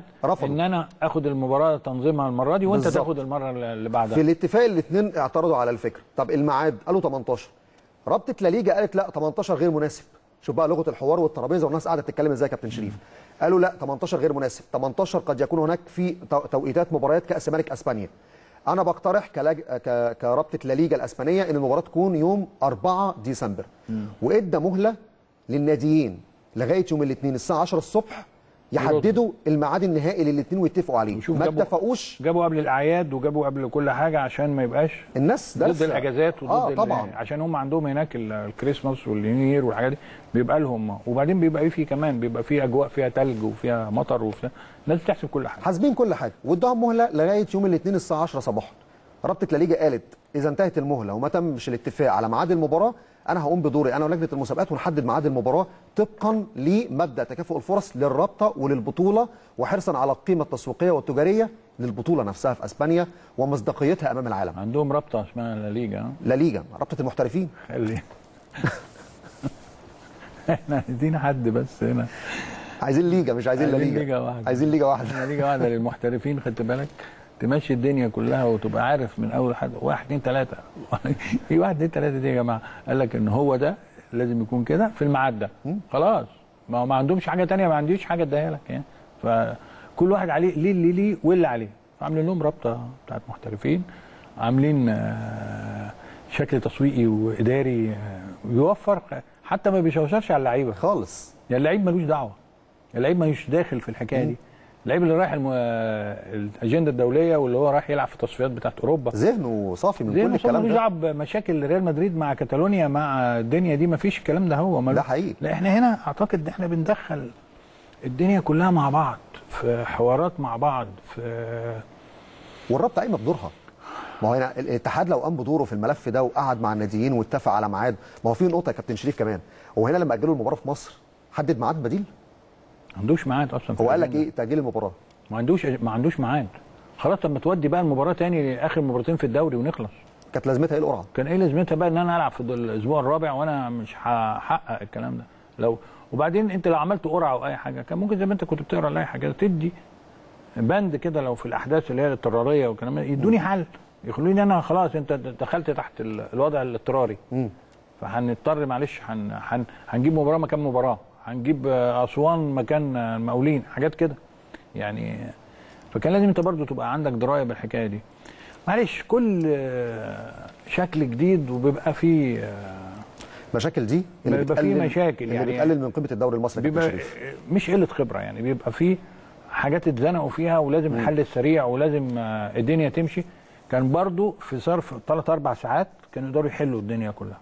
البيان صدر من يومين والنهارده كل الصحفيين الزملاء كانوا موجودين في الاتحاد والكل بيتوقع في ناس. فاكرة كان النهارده لغاية النهارده الماتش هيتلعب. آه. كان في ناس فاكرة إن الماتش ما هيتلعب. هم قلبوا التلفزيون الأول للزمالك والمقاولين مش لا الأهلي والزمالك ومقاولين. لا والزمالك والمقاولين. ف استغربوا يعني. وفي القاهرة. وفي القاهرة. مم. وفي حالة أمنية مستتبة. مصر مصر بلد الأمن والأمان يا كابتن شريف. يعني طيب ال- إيه اللي ممكن يتخذ من قرارات خلال الساعات الجاية من اتحاد الكره النادي الأهلي قال كلمته. الاتحاد إذا كان حريص على انتظام المسابقة كان لابد من هناك اجتماع بحث الأمر يشوفوا اللائحة اللي فيها بنود متضاربة عكس بعضها لأن أكيد هم عارفين اللائحة مش هتساعدهم على ده لأن اللائحة مرة مع النادي مرة مع الاتحاد مرة مع النادي مرة مع الاتحاد. فهيجي يبص في اللائحة اللائحة مش هتساعده. حلها إيه؟ هو كاتحاد يحلها إزاي؟ لأن ال- المسابقة بالنسبة له كده أصبحت على أنا مش عارف هم موجودين أصلا ولا هم فين أنا ما أعرفش. أنا سمعت إن الاستاذ عمرو الجناي سافر مثلا. بره القاهرة ولا رجع ولا إيه أنا ما أعرفش. يعني لازم تبقى ال- الأمور آه، متاخدة جديا أكتر من كده يعني. يعني عشان برضو ده حاجة لل للعامة يعني مش لل- للجماهير كلها يعني. الجماهير كلها نفسها أهلي وزمالك يتلعب كل يوم. يعني مش ده بي جماهير الزمالك مشتاقة لمباراة الأهلي. ومدى الخسائر المادية من عدم إقامة المباراة. ده كمان. الرعاية والإعلانات والبث الفضائي الكل كان بينتظم المباراه في التوقيت ده. العائد كان هيبقى لو كبير. هتبقى هتبقى بص يا محمد كمان إيه؟ هتبقى عادة بقى. كل ما هيجرى حاجة يقول لك أجل. اعمل. ما انت اصلك أجلت قبل كده حصل إيه يعني؟ خلاص هتبقى الحكاية برضه هتدخلك في الكلام اللي انت بتتكلم عنه ده. تبقى عندك مواعيد إقامة سوبر مثلا أو أي حاجة في بلد شقيقة جنبنا هتلاقيها مشكلة. طب وليه اشمعنى انت جاي مع الاتحاد الافريقي وكل حاجة ماشية منظو... منتظمة؟ مفيش. وهو لما عملت حاجة صغيرة كده مع الاتحاد الافريقي حصل إيه؟ لجنة تحكيمية وبتاع ما بقناش عارفين مين اللي هيحصل وهيطلعوا الفرقة دي ولا هيدخلوا الفرقة دي وعودة مباراة. ده اشمعنى انت هنا ما عملتش كده؟ كان الاتحاد الافريقي عنده ترابيزة زي دي قعدوا عليها خدوا فيها قرار. انت ليه هنا ما بتاخدش القرارات دي وبتعلنها على طول؟ الكل كان بيتوقع النهارده يكون في اجتماع في الاتحاد وياخدوا قرارات في الموضوع ده. ده لازم ياخدوا قرارات. مم. الحكاية بدل ما تكبر بقى وتتوسع ويزنقك على شكل معين لا هو قد الشكل ده ولا أنا قد الشكل ده ولا حد قد الشكل ده على فكرة يعني وإحنا يعني احتراما و... وأنا بشكر مجلس إدارة النادي الأهلي وكابتن محمود خضير إنه جه قال لك أنا ما, ب... ما بتكلمش على لغة انسحاب ولا بتكلم على أي حاجة على فكرة لا لا لا خالص. أنا لم أتطرق إلى هذا الشيء عشان ما إيه ما ت... ما تدخلنيش في أصل هو الأهلي كل ما يقول موقفه الناس تقول لك هنسحب الأهلي ما بينسحبش. لا أصل خلاص بقى. يقول لك أصل فلان فلان زمان قال أنا اخد الفرقة وأروح هناخد الفرقة وامشي امشي بقى كل بقى قاعدين يتكلموا في التاريخ. يعني آه. كل فرقة هتقول لك لا أنا مش هلعب. كل فرقة كان لازم أو لازم زي ما أنت بتقول اللي من هنا لغاية 24 ساعة الموضوع ده يتحل. ويتحل منهم مش هيتحل من عندي أنا. عنده مساحه زمنية لحل الموضوع؟ عنده كل حاجة. عنده مساحه زمنية من النهارده لغاية يوم 30 10 قبل التوقف؟ مش هو بس هو و... وبعض ال- القيادات يعني. لازم آه، يكون في آه، تعامل رسمي ودي مع النادي الأهلي واي والجونة وكل الفرق اللي موجودة اللي هي متضررة من هذا الشكل يعني. فلازم يكون في حل. وتعدي بسلام خد بالك؟ وتعدي أكتر بفوز الزمالك على الفرقة دي. وننتظم بقى يعني نمشي. يعني أنا مش هتروح أنت تلعب أربع خمس ماتشات في الدوري وتستناني أنا وأنا أقول وأنا أقول مش هلعب إلا لما تلعبني. يعني أنت ما ما تمسكش خدت بالك؟ في إن أنا راجل عايز حقي وكاين فرصي وأنت شغال عادي. هي دي برضه لازم يتدخل فيها هو. لازم الاتحاد يدخل هي دي فيه. النقطة دي. آه. النقطة دي لازم يتدخل فيها. لكن مش هتتدخل فيها تبقى مشكلة مش لطيفة. يعني. طيب من هنا لغاية 30 آه في كذا ميعاد مقترح. يمكن النهارده أنا قريت كذا موقع رياضي كان بيتكلم إن في مصادر جوه الاتحاد بتقول إن في مباراة ممكن يوم 28 لأن مباراة الأهلي 28 مع المصري مش هتتلعب لأن المصري عنده ماتش في الكونفدرالية في نفس اليوم. الزمالك في حال تخطيه مباراة السنغال هيكون موجود في دور المجموعات في دوري أبطال أفريقيا في 30 11 فعنده مساحة زمنية بعد هذه المباراة ممكن تتلعب هذه المباراة. اللي الكلام ده اتكتب النهارده على المواقع. ده ممكن. حلول بالنسبة آه. حلول. آه حد في الاتحاد بيقترح حل من الحلول. هل دي وجهة نظر حل يكون من الحلول إن المباراة تتلعب مثلا يوم 28 هو ده الطريق اللي يمشوا فيه. إيجاد الحلول. مع زي ما أنت قلت قعدوا مع بعض على ترابيزه مع الوضع في الاعتبار؟ مع وضع في طب يعني الظروف كلها توافق. يعني مش أنا هطلع آخد قرار برضو تحطني في قرار تاني في زنقة تانية. لازم نعرف كل حاجة. النهارده الراجل آه، مدير فني بتاع الفريق اللي هو ما لعبش. متضرر. فرقه فرقة تانية بتلعب وهو ما بيلعبش هو قاعد. وأنا ماشي في بداية الدوري أول ثلاث أسابيع عامل أداء ممتاز جدا وفجأة تيجي الظروف دي تدمر لي كل الشغل اللي أنا بعمله. وفجأة تلاقي نفسك أنت الثالث في في الجدول بدل ما انت. الأول العلامه. الكامله فأنت كمان آه، بيفوتك حاجات. هترجع هترجع للسنة اللي فاتت يعني. إنك أنت بقى قدامك هم سابقينك ماتشين الفرق كلها وأنت لسه ليك مباراتين وهتبرجل الدنيا كلها. بتعمل برجلة. دي برجلة للدنيا كلها. ما هو ده مبدأ تكافؤ الفرص بقى. هو ده مبدأ تكافؤ الفرص. يعني السنة اللي فاتت الهبوط كويس؟ كل كان البطولة دي كانت ممكن تتلغي. الهبوط وال والاستكمال بعد كأس الأمم بعد والقيد الأمم و... ولعبنا مشاكل غير طبيعية. ده انت بتلعب سنة الا يوم. انت لعبت ال- الكاس بتاع كاس الموسم الماضي كاس بتاع 2000 و آه. 2017 2018 انت قلت نقطة مهمة جدا يا كابتن شريف تخيل انت يعني. عارف ليه؟ ما هي الناس بتقول لك في ناس قالت لك إيه؟ هو الأهلي أجل مبارياته في الكاس لغاية لما يعمل صفقات الموسم الجديد. هو ما يعرفش إن الكاس الاتحاد اعتبر إن الكاس موسم جديد لأن لو ما اعتبرش إن الكاس موسم جديد الكاس ما ينفعش يتلعب ما ينفعش لأن الكاس هيبقى يتلعب بثلاث فترات قيد فكان من مصلحة الأندية إن الاتحاد يعتبر الكاس موسم جديد وال- وال- والشكل الإفريقي ده كان هيتعمل إزاي آه. يعني لو ما كانش كان هيعتبروا الزمالك إيه وال- والإسماعيلي إيه والأهلي إيه وبيراميدز إيه المصري كان ولا المصري هو اللي كان. كانوا هيعتبروهم إيه وبيلعبوا إزاي في الكونفدرالية وبيلعبوا إزاي في دوري أندية دوري الأبطال والقيد. وقتها و... كل ده كان كانت أزمات كبيرة. أزمات كبيرة وتعرضنا لها السنة اللي فاتت وما حدش يتكلم على فكرة. مم. واتلعب الدوري وخلص الدوري واتلعب بعد البطولة وخلصت ما حدش عمل أي مشاكل. وكل ساعتها قال لك كان في إيه بقى ساعتها تكافؤ فرص على كل حاجة. ويمكن الأهلي كمان يعني ساهم في إن الحكاية تمشي. ف وإحنا زي ما قلنا قبل كده وزي الكابتن محمود ما قال هي منافسة شريفة. دي رياضة ومنافسة شريفة دي ما فيهاش أي حاجة. امشي في السكة دي. هتلاقي الدنيا حلوة قوي كسبت مبروك وكل الدنيا هتقول لك مبروك. وإحنا اول ناس بنقول لك مبروك. مش لازم مسمى معين. اي حد في موجود يعني. هي رياضة. موجود. آه خسرت. هارد لك ظبط بقى الدنيا والمرة الجاية. وأنا مش هبقى أنا من غيرك. ولا انت هتبقى انت من غيري. ولا الحالة اللي هي في ال- في البلد دي و أهلي وزمالك ومصري وإسماعيلي وبيراميدز. شوف عاملة إزاي؟ عملت حالة جامدة وزنت ال... لا ومش معنى إن أنا دلوقتي بتكلم على إقامة المباراة إن أنا واثق وأنت مش واثق أو أنا واثق وأنت خايف. من إيه؟ مش كده الكره مش كده. واثق من إيه؟ مش عارف. مباراة أهلي وزمالك دي ما لهاش توقعات. هي الفكرة في لائحه وتكافؤ فرص مفيش و... توقعات في ماتش آه. أهلي وزمالك. مفيش توقعات. يعني ولا في أي مباراة على فكرة دلوقتي. الفرق كلها دلوقتي بقت طمعانة إن هي بقى ما حدش بقى بيلعب آه، defense أو بيلعب zone defense أو أو أو أو إلا لما تبقى عنده إصابات كتير قوي يعني بيبقى عندك إصابات ومش قادر تواكب الفرقة الجامدة اللي هتلعبها فلازم ترجع تلعب آه، بشكل نص ملعب آه، مزدحم شوية. إنك أنت ما تمكنش ال- ال- الخصم إن هو يقدر يعملك حصالة بقى ويفضل يعدي عليك بجون واثنين وثلاثه بتحاول تخلي الدنيا في اضيق الحدود يعني. وأنت كمنافس ليا ما أنا ما أعرفش دلوقتي لو لعبتك النهارده مين هيكون غايب عندك ولو لعبتك بعد بكرة مين هيكون غايب عندك؟ ما هو دلوقتي ممكن تكون الظروف أحسن لك والله أعلم بعد أربع خمس أيام الظروف ممكن ما تكونش كويسة ليك. وممكن لعيب يطرد. وممكن لعيب يطرد ما يكونش موجود الماتش الجاي. مهم جدا. وممكن لعيب يتعور. كل شيء وارد. ما حصلت السنة اللي فاتت مثلا. لا، دي حصلت النهارده.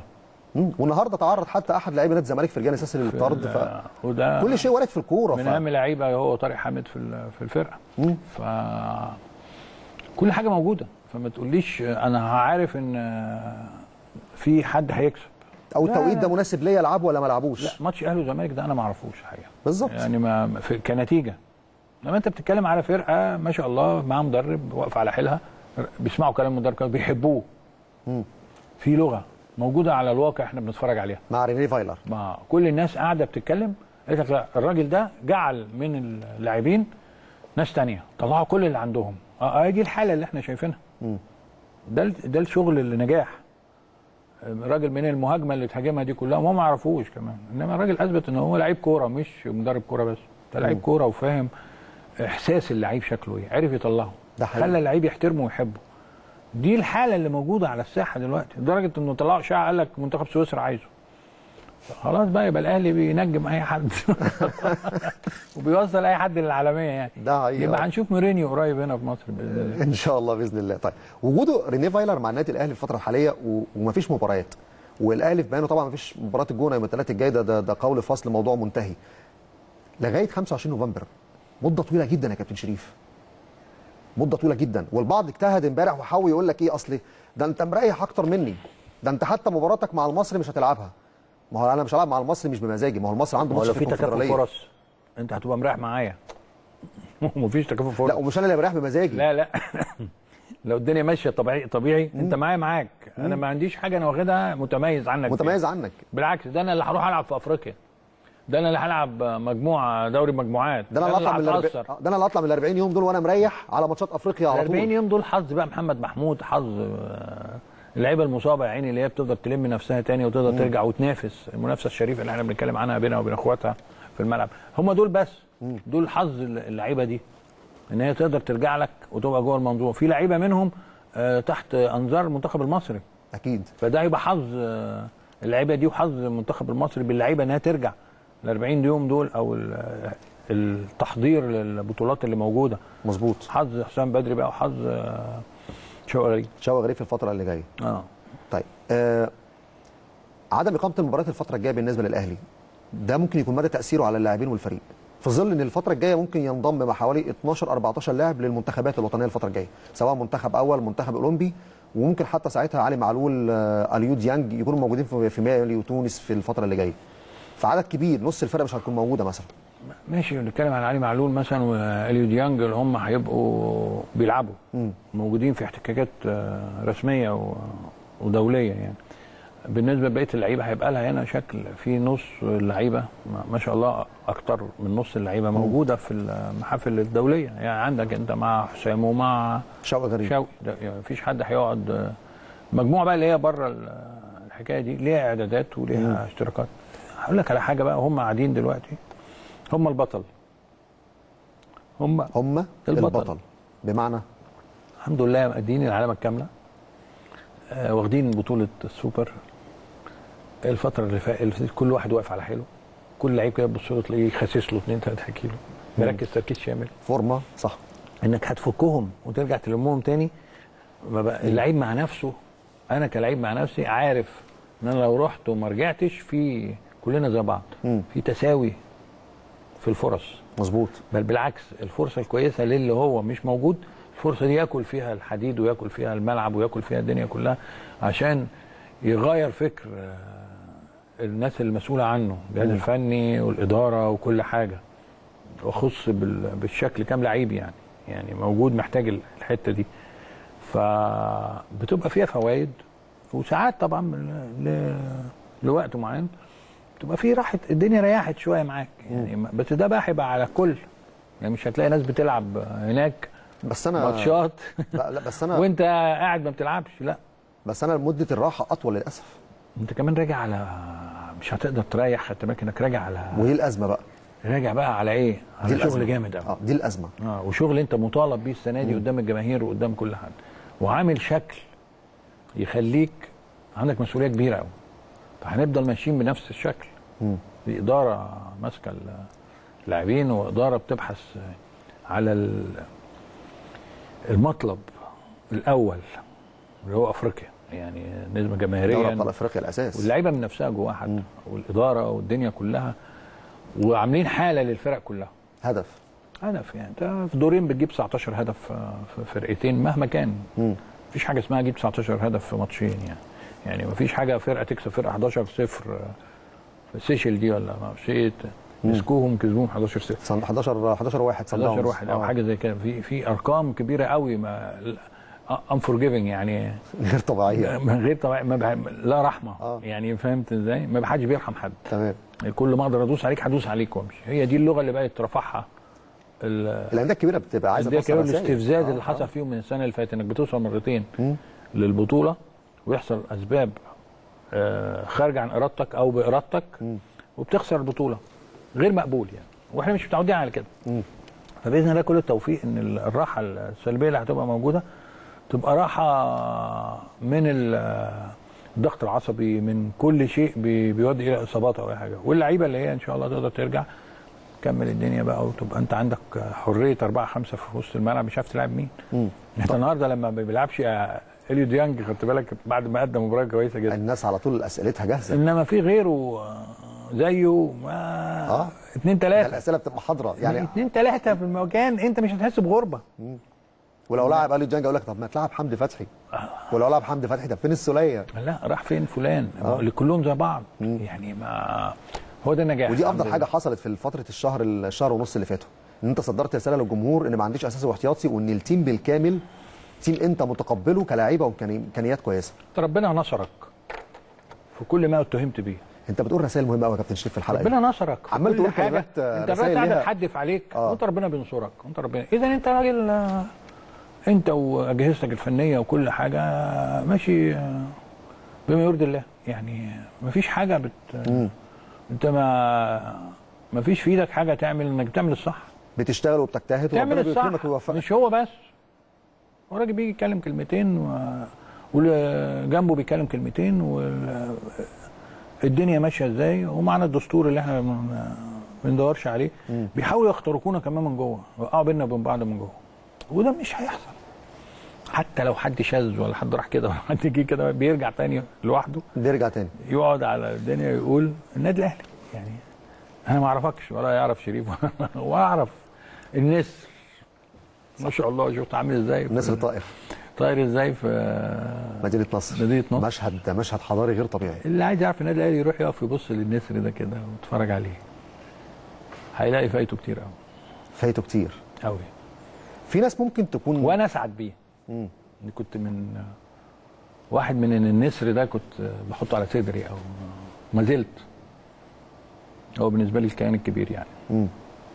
حسيت طبعا وأنت بتلعب حاسس بقيمته بس الشوق للمكان وإنك تتواجد في المكان والشعار النادي ده بتحس بقيمته أكتر وأكتر وأنت مبطل؟ بص أي حاجة موجودة دلوقتي لو كان موجود فهمته. فهمته بس منه. آه. كان كان هيبقى حاجة تانية خالص. إحنا كنا بنلعب عشان نرضي الأجهزة الفنية وأعضاء النادي. مش في الأول بص وبعدين جماهير النادي الأهلي. عشان اعرف امشي في وسط النادي. صباح الخير يا عم صبحي. صباح الخير. يا كابتن امبارح كنت كويس. مبروك. ما كناش ما اتعلمناش غير كلمة مبروك. هارد لاك دي كانت بتبقى نظرة ما بتحقق ياخدش بالي إن أنا عديت. آه. انه مش إحنا. تلاقينا راجعين الماتش اللي بعده آه، طيارات في الملعب. فحاجات كتير قوي اتعلمناها يعني. بس زمان ودلوقتي ببقى سعيد طبعا لما بشوف ال- التجمع هيبقى شكله عامل إزاي لما مدينة نصر بهذا الشكل يعني. حاجة غير طبيعية. وكل الناس آه، اللي كانوا موجودين والراحلون وال- بنعزي نفسنا في كل حد اليومين دول.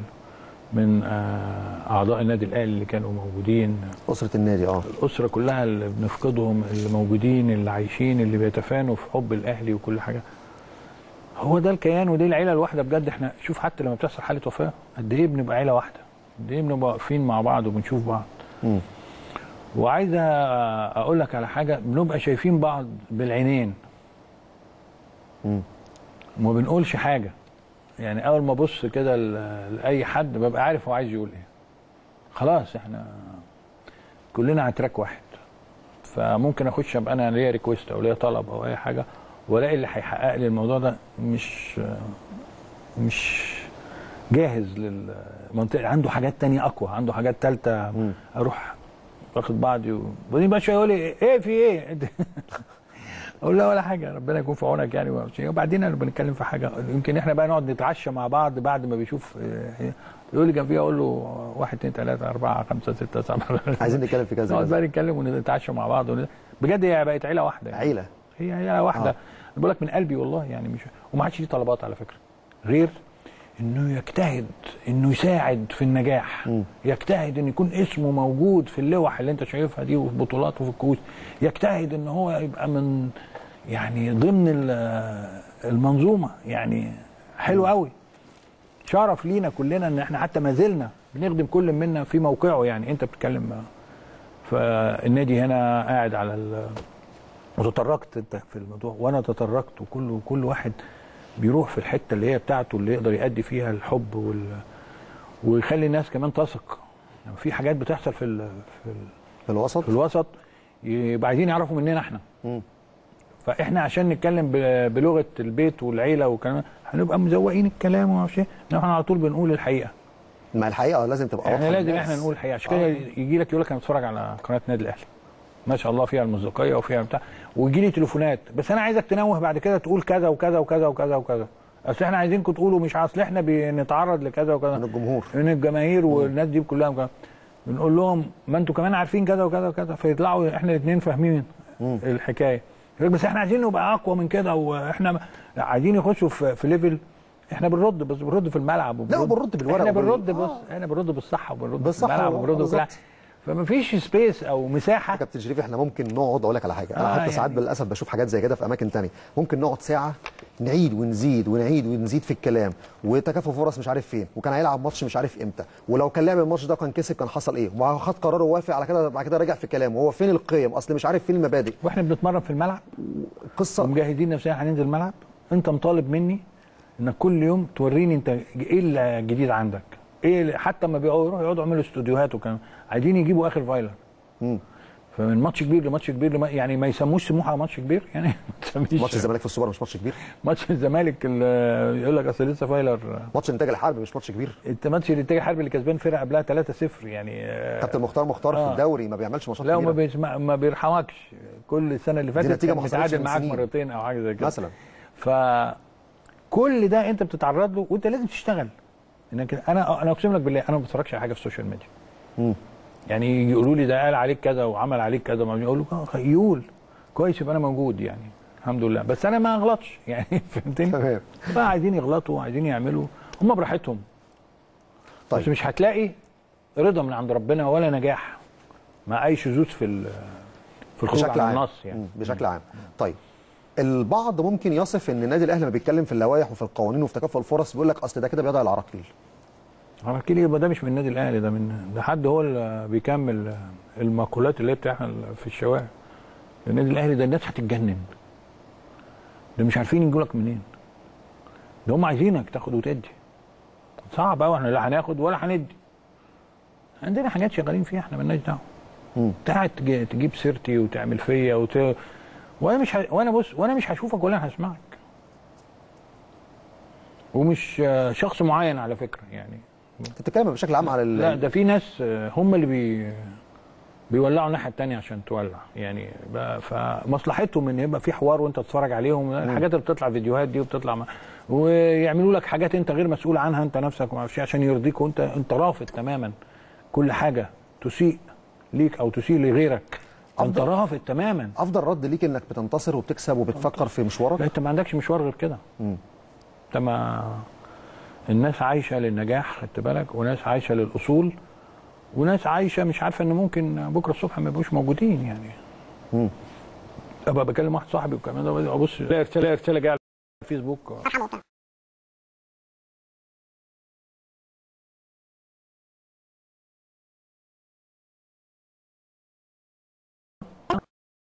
وامشي صح يختار عدوك فيك. إحنا بقى ماشيين الظاهر صح و... ما عندناش أعداء على فكرة. في الآخر بيحبونا بس إيه يحبوا يعملوا الشكل ده بس هم بيحبونا عارفين إن إحنا صح.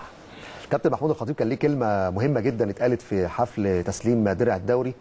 قال لك النادي الأهلي دايما بيشتغل عشان ينجح. والبعض بيحاول إن هو يشتغل عشان يعمل لك أزمات أو يفشلك لكن هو ما بيفكرش إزاي هو ينجح. أعتقد كلمة السر في نجاح النادي الأهلي إن هو مركز في طريقه وعارف هو عايز إيه سواء في المشوار المحلي في المشوار الإفريقي في تجهيز فريق الكورة في البنية التحتية والإنشائية جوه النادي الأهلي. وضع مختلف يا كابتن مجهود. كبير قوي. مجهود كبير جدا. يعني المجهود الكبير ده انت حتى بتلمسه في النادي كل يوم انت موجود. طبعا شوف إحنا على ثلاث أربع أندية خدت بالك؟ بالك بمصر بقى. الريس بقى ماسك كل حاجة. دي اسكندرية. محافظات والدنيا وناس بتهاجم عليه من الناحية دي. إحنا الدنيا فترة كده يعني. هتبقى وأحلى كلمة قالها كابتن محمود اللي هي المنافسة الشريفة يعني. المنافسة الشريفة. مم. البيت قاعد بتصله كده. خدت الكلمة دي وقلت له الكلمة دي حلوة. يعني بيني وبين نفسي المنافسه الشريفه انت وريني إمكانياتك في الملعب. مم. انزل كل الملعب وكل خلي الناس تهتف لك. صح. يعني وبعدين مش ع... انت مش عارف تمسك عليها حاجة لأن عمرك ما هتقدر تمسك عليها حاجة. وخاصة الكابتن محمود الخطيب يعني لو جبت سيرته من هو لعيب هات لي امسك عليه حاجة. آه تاريخ مش ورمز هتعرف الناس. مش هتعرف تمسك عليه حاجة. أنا كنت تقدر تمسك عليا إن أنا مشاغب في الملعب وبجري واطلع وأعترض ومش عارف إيه. أسلوب لعبي كده طريقتي كده. بلعب في كل حتة في الملعب لازم هتعرض لده وده مثلا يعني. إنما كابتن محمود خطيب معروف. كابتن حسن شحاتة. رمز كبير كلنا بنحبه. لما نتكلم عن الكابتن بنحبه. وبنقدره. قد إيه الملعب بص عامل إزاي وكان إيه واحسن لعيب في آسيا و... ودنيا ودي وبعدين يجي يمسك المنتخب فياخد ثلاث بطولات أفريقيا. يبقى الراجل ده كويس ولا مش كويس؟ صح. يا إما السما مش هت شوف في رموز. الرموز انت دي تلمعها وتتكلم عنها كويس و... وادام انت عشت معاهم وجات لك ال... مش عايز اطول عليك إن الفرصة إنك انت تبقى معاهم وتعيش معاهم وتشوف النادي دي حتى لما تيجي تتكلم عنهم تقول الحقيقة. ما ما. من حقهم علينا ومن حقنا على الناس إن إحنا نبلغهم. كان في عظماء في البلد دي من الرياضيين آه،. المفروض إحنا كلنا نكمل المسيرة معاهم بإذن بإذن الله. كابتن شريف أنا بشكرك والوقت جري بسرعة. كنا نتمنى بالتأكيد نقعد أكتر من كده ونتكلم في تفاصيل كمان أكتر من كده. عندنا مشوار إفريقيا ومجموعة إفريقيا و... والفترة الجاية هنشوف الساعات الجاية إيه اللي هيحصل فيها لكن للأسف بقى الوقت كان ضيق جدا وقدر الإمكان حاولنا بس نقدم للمشاهد فكرة. عن الأحداث الحالية وجهات نظرك بالتأكيد كانت مفيدة جدا بالنسبة للمشاهد الأهلاوي وحتى للمشاهد بشكل عام. لا أنا بقول لك آه، إن شاء الله كل التوفيق. نزل النادي الأهلي آه، ما تخافش. يعني النادي الأهلي بيمشي في الصح على طول. بإذن الله. وكل ال- الدنيا بتمشي مع النادي الأهلي. أنا عارف النادي الأهلي ما بيغلطش يعني. الحمد لله. نورت الدنيا وشرفتني. شكرا أشكرك. جزيلا كابتن. شريف. شكرا جزيلا. فقرة كانت مهمة جدا مع الكابتن شريف عبد المنعم. يمكن تطرقنا لأمور مهمة جدا بالنسبة للموسم الجديد اللي بدأ وإحنا دلوقتي المفروض داخلين في الأسبوع الخامس أو النهارده اتلعب مباراة من الأسبوع الخامس في الأسبوع الرابع لكن بشكل عام عرضنا جزء من بنود لائحة المسابقات للموسم الجديد 2019 2020 وشفتوا كمية العراقيل والمغالطات ما بين بند وآخر في المسؤولية. مين المسؤول عن تنظيم المباراة؟ مين المسؤول عن الحصول على الموافقات الأمنية؟ في حال تأجيل مباراة من المسؤول عن تجهيز ملعب بديل؟ وهل الاتحاد يخطر النادي آه، بتأجيل المباراة ولا يخطره بتحديد ملعب بديل؟ أمور كتيرة جدا لكن في النهاية النادي الأهلي لما بيصدر بيان أو لما بياخد قرار بياخد قرار بناء على رؤية فنية ورؤية إدارية بناء على لائحة بيمشي عليها على مدار موسم كامل وعارف إزاي يقدر بيتكلم في حقوقه دون أن يطلب حقوق ليست من حقوقه. والنادي الأهلي بيتكلم دايما في مبدأ تكافؤ الفرص ما بيتكلمش في إن هو عايز ياخد حق مش من حقه. بالعكس النادي الأهلي حريص على إن المسابقة تكون مسابقة منتظمة والمثل اللي موجود في أسبانيا أكبر دليل على إن النادي الأهلي فعلا لما بيتكلم بيتكلم صح لأنه هدفه في النهاية المسابقة دي إزاي تنجح. ومش هيحس بقيمة المسابقة أو مش هيحس بقيمة البطولة إلا اللي فايز بيها عدد مرات كتير وعارف قيمة البطولة عارف العائدات اللي بتيجي من ورا بطولة الدوري العام. فالبطولة بقيمتها آه، بعظمتها ما يحسش بيها إلا اللي تعب وشقي فيها على مدار سنين طويلة جدا وعارف إزاي بطولة زي دي لازم كلنا نشتغل عشان نعليها ونكبرها. والمواقف اللي زي دي للأسف ممكن تخسرها مبالغ مالية كبيرة جدا. فنتمنى الفترة الجاية إن يكون في قرار سريع من الاتحاد لإعادة هيكلة الأمور وإزاي إعادة تغيير المواعيد واعاده الأحداث بالنسبة للدوري في المرحلة الجاية. بشكر حضراتكم على حسن المتابعة والمشاهدة ونلتقي على خير بإذن الله في حلقات أخرى قادمة من برنامج الأهلي الليلة.